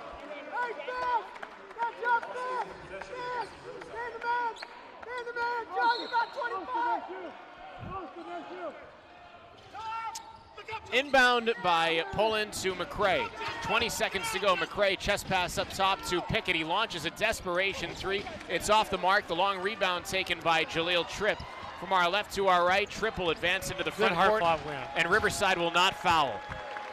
So the Pacific Tigers, for the sixth straight time, defeat the UC Riverside Highlanders. This time it is by a final of 58 to 51. As coach said, a hard-fought home win tonight for the Pacific Tigers, and something on which to build as they look ahead to Coppin State on Tuesday. We'll talk about that and much more when we come back uh, for a happy edition of Pacific Courtside Live, which is coming up next. Our final score from the Alex G. Spanos Center, the Pacific Tigers 58, the UC Riverside Highlanders 51. And we will come back and have Pacific Courtside Live for you after this on the Pacific Digital Network. Hi, Tiger fans. This is Janet Lucas, Director of Athletics at the University of the Pacific. The vision of Pacific Athletics is to be a program that's values based and focused on the growth and success of our student athletes in the classroom and in the community. This life is built on the pillars of family, balance, innovation, and a winning spirit. Whether this involves winning championships or graduating seniors with a sense of purpose, we strive to represent and our community. With more than 300 student athletes studying in over 40 different majors, we are inspired and impressed every day by the academic achievement of our student athletes. Last year, Pacific student athletes once again enjoyed a banner year in the classroom, a 3.2. In addition, 60% of our student athletes were above a 3.0 cumulative GPA, and 27% registered a 3.5 or better. At the conclusion of the fall and spring semesters, there were a total of 75 perfect 4.0 GPAs, while 21 student athletes maintained a perfect mark for the entire academic year. The graduation success rate of 93% is a testament to the unwavering commitment of our student athletes to their academics and future careers. On behalf of our student staff, thank you for supporting the Pacific Tigers and for helping us continue our mission of building champions for life. College students, college athletes, all conference, all academics, all Americans, champions. Together, we are able to make an impact for over 300 student athletes who are able to rise to these levels through the power of our community's. Together, we are able to provide the resources to make a difference and build a future for Tigers who inspire us each and every day. Join the PAF today and become part of our Tiger family. For more information on the PAF and how you can help support Pacific student athletes,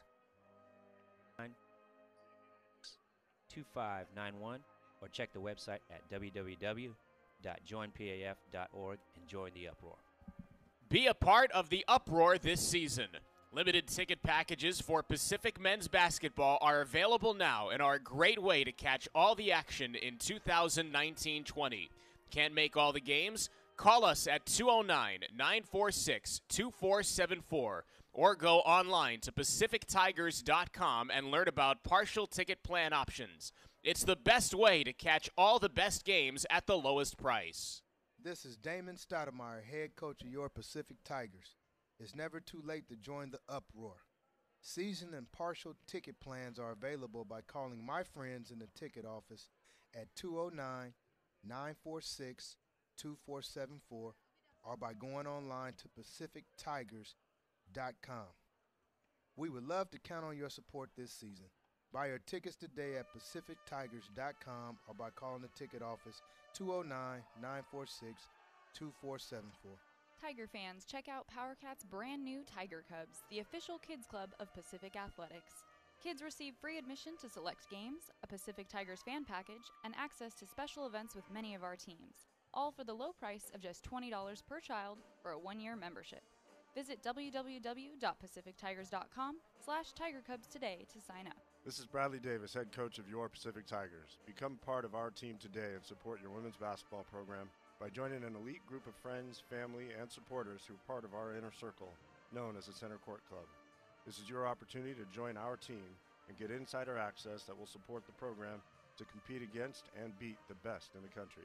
Join Center Court Club today and become part of the Tiger family by calling 209 946 2591 or check the website at www.joinpaf.org. Pacific Courtside Live, a winning edition. Zach Bayrouty, Coach T, Bob Thomason, glad to have you with us. Uh, the Tigers with a 58-51 win over a, a, gritty UC Riverside team. Coach, I, we, knew coming in that Riverside was going to try and, and, play this game, you know, very slow tempo. They did. Uh, we knew the Tigers were going to have to run Riverside off of the three-point line. Uh, for the most part, they did. You know, we'll get we'll delve into the numbers here in a little bit, but uh, it's a good home win for Pacific. Yeah, I mean, at this stage of the game, every, every win, you want to win and we want to learn sure. and you want to get better. And uh, the team has ball control, but uh, like the Tigers aren't a high-powered, fast-breaking.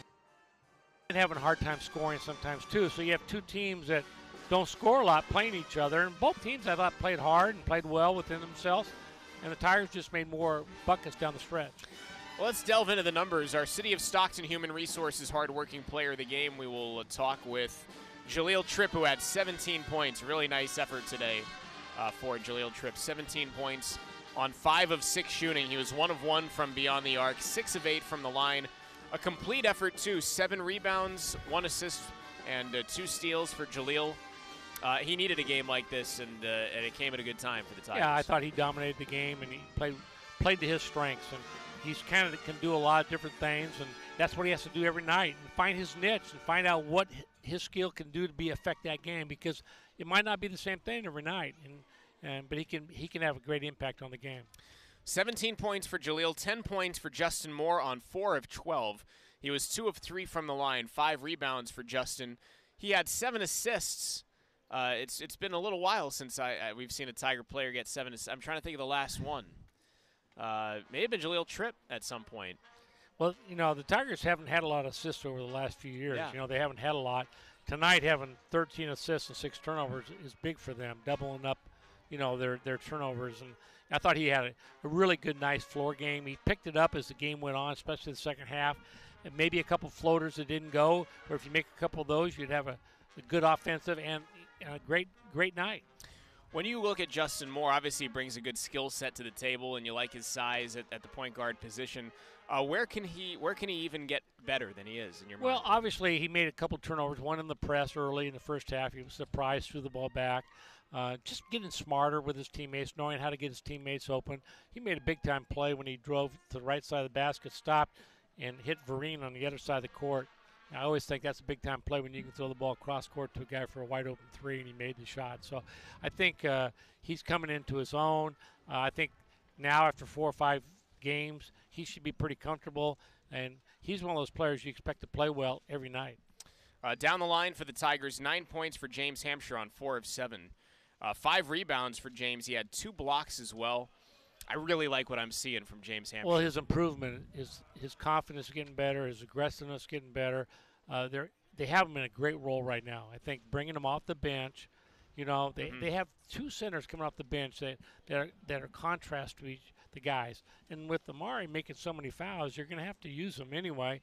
And I thought he played a, a really a fantastic game tonight. I thought they've done well uh, crafting plays to get the ball to him, you know, uh, close to the bucket. I think they've they've had some some pretty good. They've given him some pretty good looks. I mean, uh, even when they haven't gone in, you know, that he's had some good looks. Yeah, absolutely. And, and the more confidence he does, the more he demonstrates making plays, the more the coaching staff will throw the ball in there to him, and th- his teammates will throw the ball in there to him. So he did a nice job, but he plays without worrying about that stuff. He's not trying to do anything but help the basketball team, but you can see his development kind of flourishing.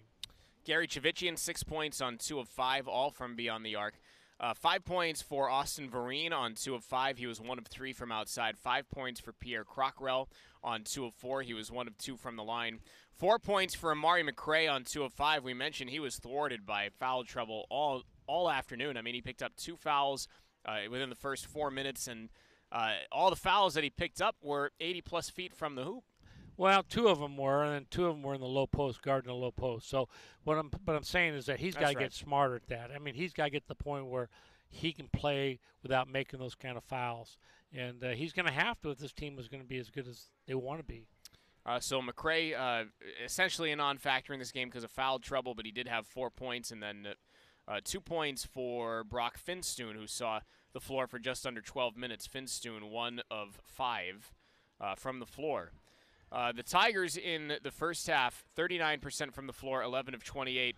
Got much better in the second half. They were 11 of 23. Uh, same amount of makes, but just a fewer shots. Uh, for the game, the Tigers 22 of 51, 43%. From beyond the arc in the first half, the Tigers 3 of 7, 1 of 3 in the second half. Uh, you can live with 4 of 10 from outside, 40%. They were selective. Yeah, they, I think they need to be. I think they have some guys that are going to make threes. They're going to develop as the year goes on, but I don't think they're a high-powered three-point shooting team. And, and you want to do is take great threes. And if they continue to do that, they can shoot a good percentage. I thought Gary Chivichyan tonight was really stood out for them. Mm-hmm. He made two big threes early when they were behind, and they helped catch up. But he played really good defense. He played with the group out there a lot in the second half, but he didn't force any shots, you know, and which he's been kind of hunting for shots the first few games of the year. Today, I thought he did a great job. Uh, from the line, the Tigers need to find a way to get better. 10 of 17 from the line, and you know they, they came away with the win today, but in a close game, that can really hurt you. And then the Tigers' uh, free throw percentage for the year. Uh, I meant to have this number handy, and I apologize that I don't, but I could probably pull it up right here and right now. For the year, uh, the Tigers are 60, 63% coming into this game Yeah, from the line. They got to get to the 70% mark. Yeah. I always thought between 70 and 74% is really good. Um, but you got to get, and it depends who's getting fouled. I mean, are you is your good free throw? But when Moore's missing them and Tripp's missing at the end, those are the guys who are going to be fouled at the end of the game because they're going to be handling the ball, and they're going to have to get to the point where you don't want to go up there going, "Man, I hope he makes his free throw." Mhm. That's not a good sign. You want to get to the point where you know he's going to make those free throws, especially at the end. for sure. Uh, UC Riverside, uh, led by true freshman Zyon Pullin, four of seven from the floor, two of three from outside, four of eight from the line, and he had 14 points in this game. And I was I was impressed with the way the freshman played from uh, Pleasant Hill. A- absolutely, he played really good. He, he, you know, being a freshman, he's a good athlete. He can make an outside shot. He drives the ball in there, and uh, he's going to be a good player. They have a couple. They have a couple nice pieces on this team, Coach. I, I like what Riverside's doing, where they're going. I really Absolutely. I think coach is doing a great job coaching them. Uh, they've got them under control. Um, you know, if the big fellow would have had a good game tonight inside, they would have made this game right down to the wire. But he really missed an easy layup. He didn't really establish himself Mhm. inside scoring, and I think that hurt them. Uh, down the line, 10 points for Dragan Elkaz on 3 of 6. He was 3 of 5 uh, from beyond the arc and uh, 1 of 1 from the line. Nine points for uh, our friend Kai Cabellis tonight. Kai coming back to the Spanos Center. There were times uh, early in the game you thought he might cut it loose. He was 4 of 10 from the floor, 1 of 5 from beyond the arc, and uh, Cabellis held uh, to 9 points. How do you He- think he handled it? I thought he did a good job. You know, he did a nice job uh, playing tonight. Uh, he didn't just didn't do much the last 14 minutes of the game. I thought his first 20, 24 minutes was really good. Yeah. Well, let's uh, talk with our City of Stockton Human Resources hardworking player of the game. That would be Jahlil Tripp. How you doing, man? How you doing? I was, uh, by the way, you were my call today during shoot around for player of the game. CP asks me in shoot around, "Who's your call for player of the game?" And I, you were my call because you I, you were due, man. Uh, you were due for a performance like this. 17 points on the five of six shooting. Uh, what uh, what was the key to your success today? Um, I felt like I really got into a groove our last game here at home, um, and I think I was just ready um, from practice, and I just felt like I, I felt good going into the game, and like I said, since the last game, I just felt good overall, and I feel like I really picked it up, and um, I found my, my groove with the new team that we have. I'm, I'm going to take away Thursday's game. It was, you know, it, was a big win against an NAIA school, big in terms of margin. But uh, really, the last uh, the last Division One game was the Hawaii game, and we know how that ended. But how how tough was that for you as a senior on this team to absorb that loss? Um, that was a tough loss. Um, it reminds me a little bit of the San Fran loss my um Yeah. sophomore year, first round up there in um, the West Coast Conference. But um, I think with this new team, um, I think we are right to take the hits and bruises now in the beginning of the season, so that way we can learn from it. And I think get, going down the stretch of the season, we're going to be a tougher team, and um, those type of things won't happen. hmm Coach.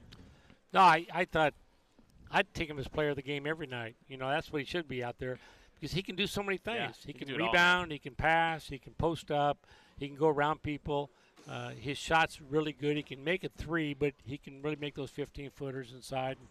And he's just got to figure out how to take how the defense is guarding him and who's guarding him and how to make his teammates better and him better. And the combination of that, once he does that, and just play every night like like it's your last game. And Yeah. I think you're going to have a fantastic year. Yeah, thank you. I know they're playing you kind of all over the place this year, you know, more than just where you had to be at the point last year. Is there an area where you feel comfortable, a spot where you feel most comfortable? Um, I just wherever the team needs me to win. Um, that's all I really want to care. That's all I really care about. Um, I know the last two years I've been playing the point and uh, having the ball a lot in my hands and making a lot of plays. And um, this year we got a lot of good new players and a lot of other players can make plays too. So I think um, that helps me just be out on the wing a little more and run the floor and get be able to get easy transition buckets. And I can still do what I want to do with the ball in my hand, make plays and stuff. But I think just me being out um, on the wing running is, is good for us. What uh, what does this win mean for you guys? I know you were desperate to have it, but does this give you a chance to build uh, now and moving ahead in this homestand, which is seven games long? Uh, definitely. Um, we heard that they went down to Nebraska, a Big Ten team, and won by about 20. So we Yeah. knew they wasn't going to come in here and be any slouches. Um, Coach told them we beat them last year, but it wasn't the same team, and we just got to come in there with the mindset every day that nobody um, thinks we're going to win any games, and we just got to believe that we're the only people on the planet that believe we're going to win, and we come into the game with that mindset, and I think we could be anybody if we want. Do you guys still feel like you're, uh, how do I put this, like you're still gelling but getting better at the same time? Oh, most definitely. Um, practice is definitely intense and picking up, and coaches on everybody just as if they was here for the last three years, just like me. And um, I think him doing that is helping the new guys come along well because they they know that he's expect a lot from them. So like if you have that expectation, then you know that coaches believe in you. Because the only time you, sh- you should be scared is when the coach is not talking about you. If he's talking about you, that's a good thing because he wants you to get better. hmm Is that right, Coach? Uh, yeah, and some you know, but I, I think this team is gonna they're gonna have to develop their offense. I mean, they're not a great offensive team right now. I mean, Mhm. as far as how many guys, I I think once they get four or five guys getting in double figures, you know, then their offense will blossom a little more. Um, they're playing a lot of guys still, and I think that'll calm down eventually. Um, but if they take good shots, their defense is really good. Their rebounding is really good, and then tonight they're every time Riverside pressed a couple times early, and they got some turnovers, and they got to be ready for those things. They got to handle that press a little better and take their time. And, mm-hmm. and matter of fact, I've always said the more you take your time handling that stuff, the easier shot you're going to get through the press. It's when you rush things to try to get down there and score is when you make the mistakes, and that's something the preseason's for. Yeah. And you know, to go back and win a game, number one is great, and then number two, what did we do well, and and make sure that stays there, and what did what could we improve on, and let's go to work and improve on those things because in two weeks you want to be a lot better. Yeah. Hey, Brooklyn, we go hard. Thank you. Thanks, man. Appreciate you. Thank you. Jahlil Tripp, uh, kind enough to join us on Pacific Courtside Live, and uh, he is our City of Stockton Human Resources hardworking player of the game with 17 points. Uh, I lost the stat line. 17.7 rebounds. That was the other big part of that stat line. He's a heck of a player. Yeah, I, he I is. mean, I, I've always loved him since he's come here, and I just love guys that are strong and have a good heart and want to win basketball games. And uh, he's willing to do anything. And um, I, I think sometimes he could do more. You know what I mean? But you don't want to do things by forcing things either. Uh, we were in the middle of talking about UC Riverside and, uh, and Kai Cabellis, who had nine points. Uh, down the line, eight points for Callum McRae. Look, coming into this game, McRae averaging 13.7 and 9.3. And he had eight points and 10 rebounds. He's a big guy. He's skilled. Uh, they run a lot for him. And for, for the Tigers to hold him on eight points, uh, to eight points on four of 10, I know he missed a couple of bunnies. I thought they did a good job uh, on getting into him a little Yeah, bit. well, you know, the Tigers have strength, you know, with two of their post guys, and they have length with one of the other post guys. So that's going to make it harder for big guys. Mhm. But I was disappointed in just how he started the game. So We look lethargic to you? not, I don't know about lethargic, but it was just like tentative in whether he could go in there and score on people. I would be disappointed on that if I was coaching and watching that just that game tonight. Mm-hmm. But I think he should go at people Yeah. and try to get the free throw line and try to make shots. And then when they double him, then he can kick it out for some wide open shots. But he he's playing like I'm not for sure if I can do this. Well, he had eight points and 10 rebounds. It wasn't enough for Riverside tonight. And down the line, uh, five points apiece for Dominic Pickett on two of five and DJ McDonald on two of six. Uh, the Highlanders in the first half, beg your pardon, 11 of 26 from the floor, 42%. Uh, the second half, they were just 8 of 28, so 29% if you round it up for the game. Riverside shot 35%. So second game really going back to the the Sac State game that they've struggled offensively. Well, I think they, they have some limitations about how they can score, but they did have three or four really nice three point shots that didn't go in. Where if those go in, it kind of opens things up. Um, and they're just going to have to find their offense, how to create shots for each other. Uh, I'm impressed with their team, even though it's young, and I think they're headed in the right direction. Uh, but I think they're going to have a hard time scoring all year. And so it's going to be about defense and having close games and winning close games. Uh, from beyond the arc, Riverside 8 of 23, uh, 34%, 35 if you round it up. And then from the free throw line, they were 5 of 9. Uh, Pacific had 8 points off of turnovers, Riverside had 2.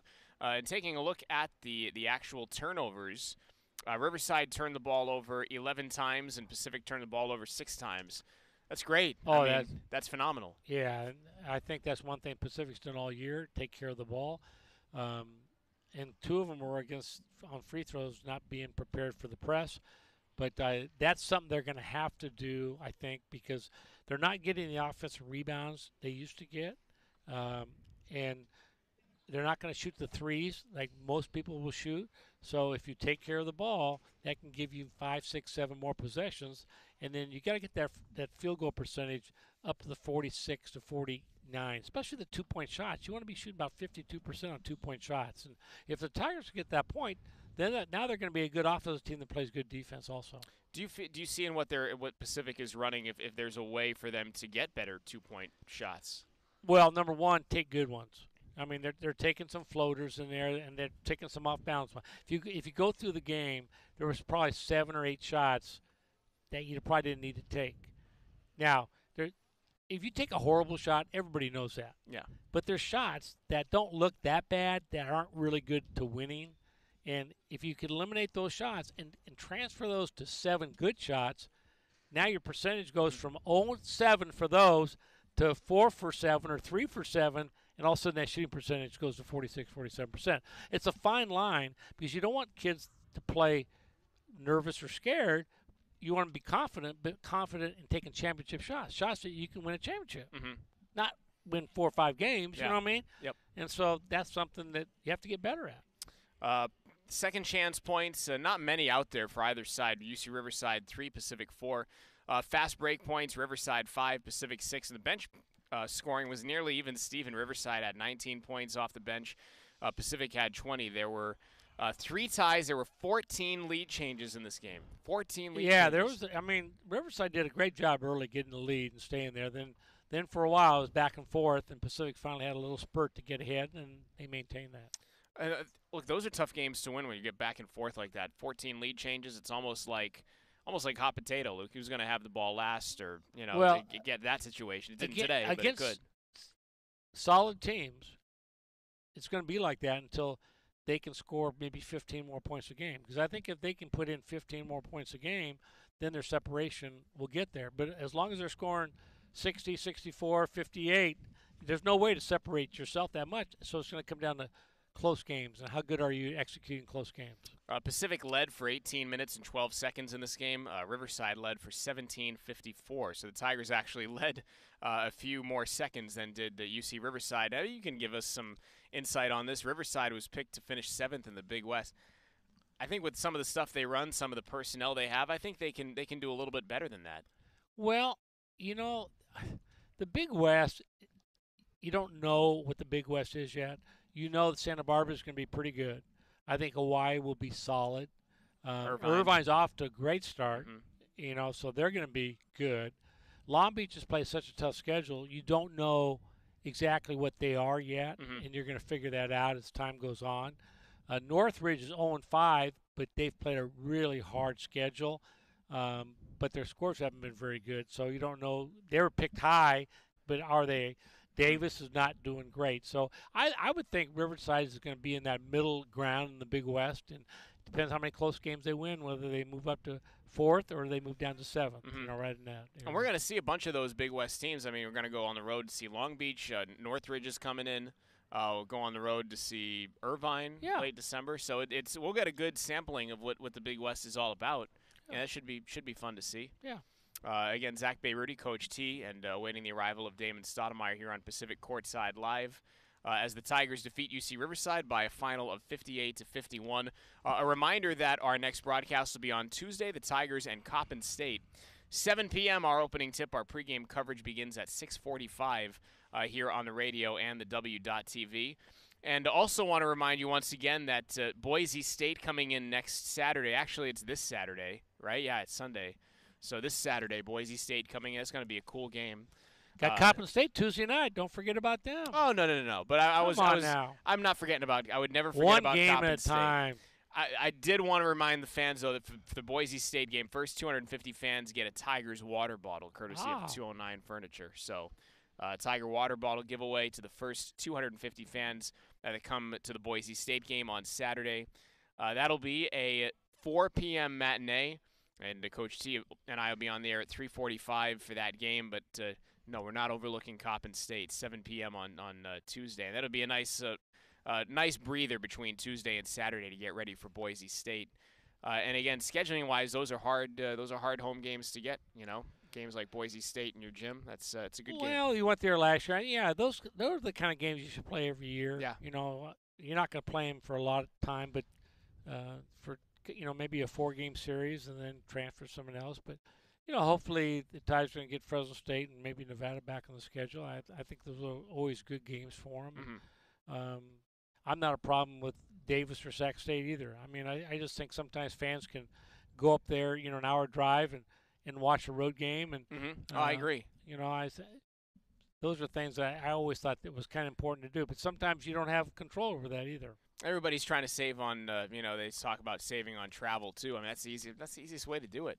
Uh, taking a look at scores from around the WCC, only one other WCC team is in action today, and they are just underway in Moraga. Cal Poly is out to a 10 to 2 lead on number 18 St. Mary's. So the Mustangs off and running, 10 to 3 now. But uh, uh, that game going on right now in Moraga. St. Mary's was picked by 25 and a half points. Was that the line in that game?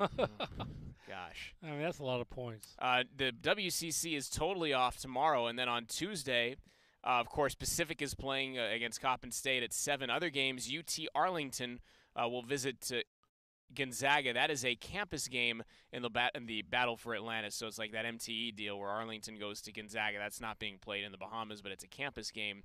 Uh, Gonzaga ranked number eight in the country. Pepperdine at USC. That'll be at 6 p.m. on Tuesday.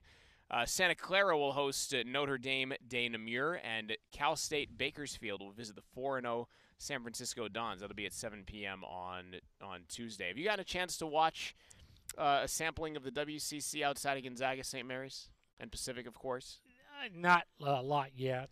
Um, you know, uh, you'll start watching them on TV here pretty quick, and then when they get into league, I like watching league games a lot more than I do preseason games. Um, but we'll find out. What do you got against preseason games? I think I think the schedules are so like lopsided sometimes, and then some of the games aren't on TV that you want to watch. You know, uh, so yeah, it'll be interesting. I think you know, you know, St. Mary's, USS seem to be pretty solid teams. Pepperdine seems like they've improved a little. Mhm. Um, you know, Gonzaga obviously. I watched BYU when they. I think they were they were winning a close game at home. I, I watched the end of that game, the last four or five minutes, and then they had a great win to go to Houston. I mean, Yeah. Kelvin Sampson's teams are always tough. Yeah. Uh, so that was a great win for them. Um, but I, I think in the in the WCC it'll be competitive. You know, Loyola Marymount, you're not for sure exactly what they have, and San Diego's off to kind of a rough start, but I think they've played a real tough schedule too. So uh, I think sometimes you have to see who has injuries and who has sickness, and and sometimes you get slapped in your face, and you kind of really get your team to be motivated to improve. And so, um, but it should be fun. I mean, WCC is always competitive, except for Gonzaga. You know, they Yeah. have not been over over the years. You know what I mean? And they, they number one have great players, and they have a great coach. They have the great system. So the combination of all that makes it pretty tough on everybody. Yeah, makes them pretty tough to beat. Let's take a breather. We are uh, awaiting the arrival of Damon Stoudemire here to Pacific Courtside Live to the table. So Coach T and I will take a quick breather, and uh, we'll be back. Hopefully, uh, Damon will be joining us here on the Pacific Digital Network. Be a part of the uproar this season. Limited ticket packages for Pacific men's basketball are available now and are a great way to catch all the action in 2019 20. Can't make all the games? Call us at 209 946 2474 or go online to PacificTigers.com and learn about partial ticket plan options. It's the best way to catch all the best games at the lowest price. This is Damon Stoudemire, head coach of your Pacific Tigers. It's never too late to join the uproar. Season and partial ticket plans are available by calling my friends in the ticket office at 209 946 2474 or by going online to pacifictigers.com. We would love to count on your support this season. Buy your tickets today at pacifictigers.com or by calling the ticket office 209 946 2474. Coach T and I are back uh, inside the Alex G. Spanos Center, and Damon.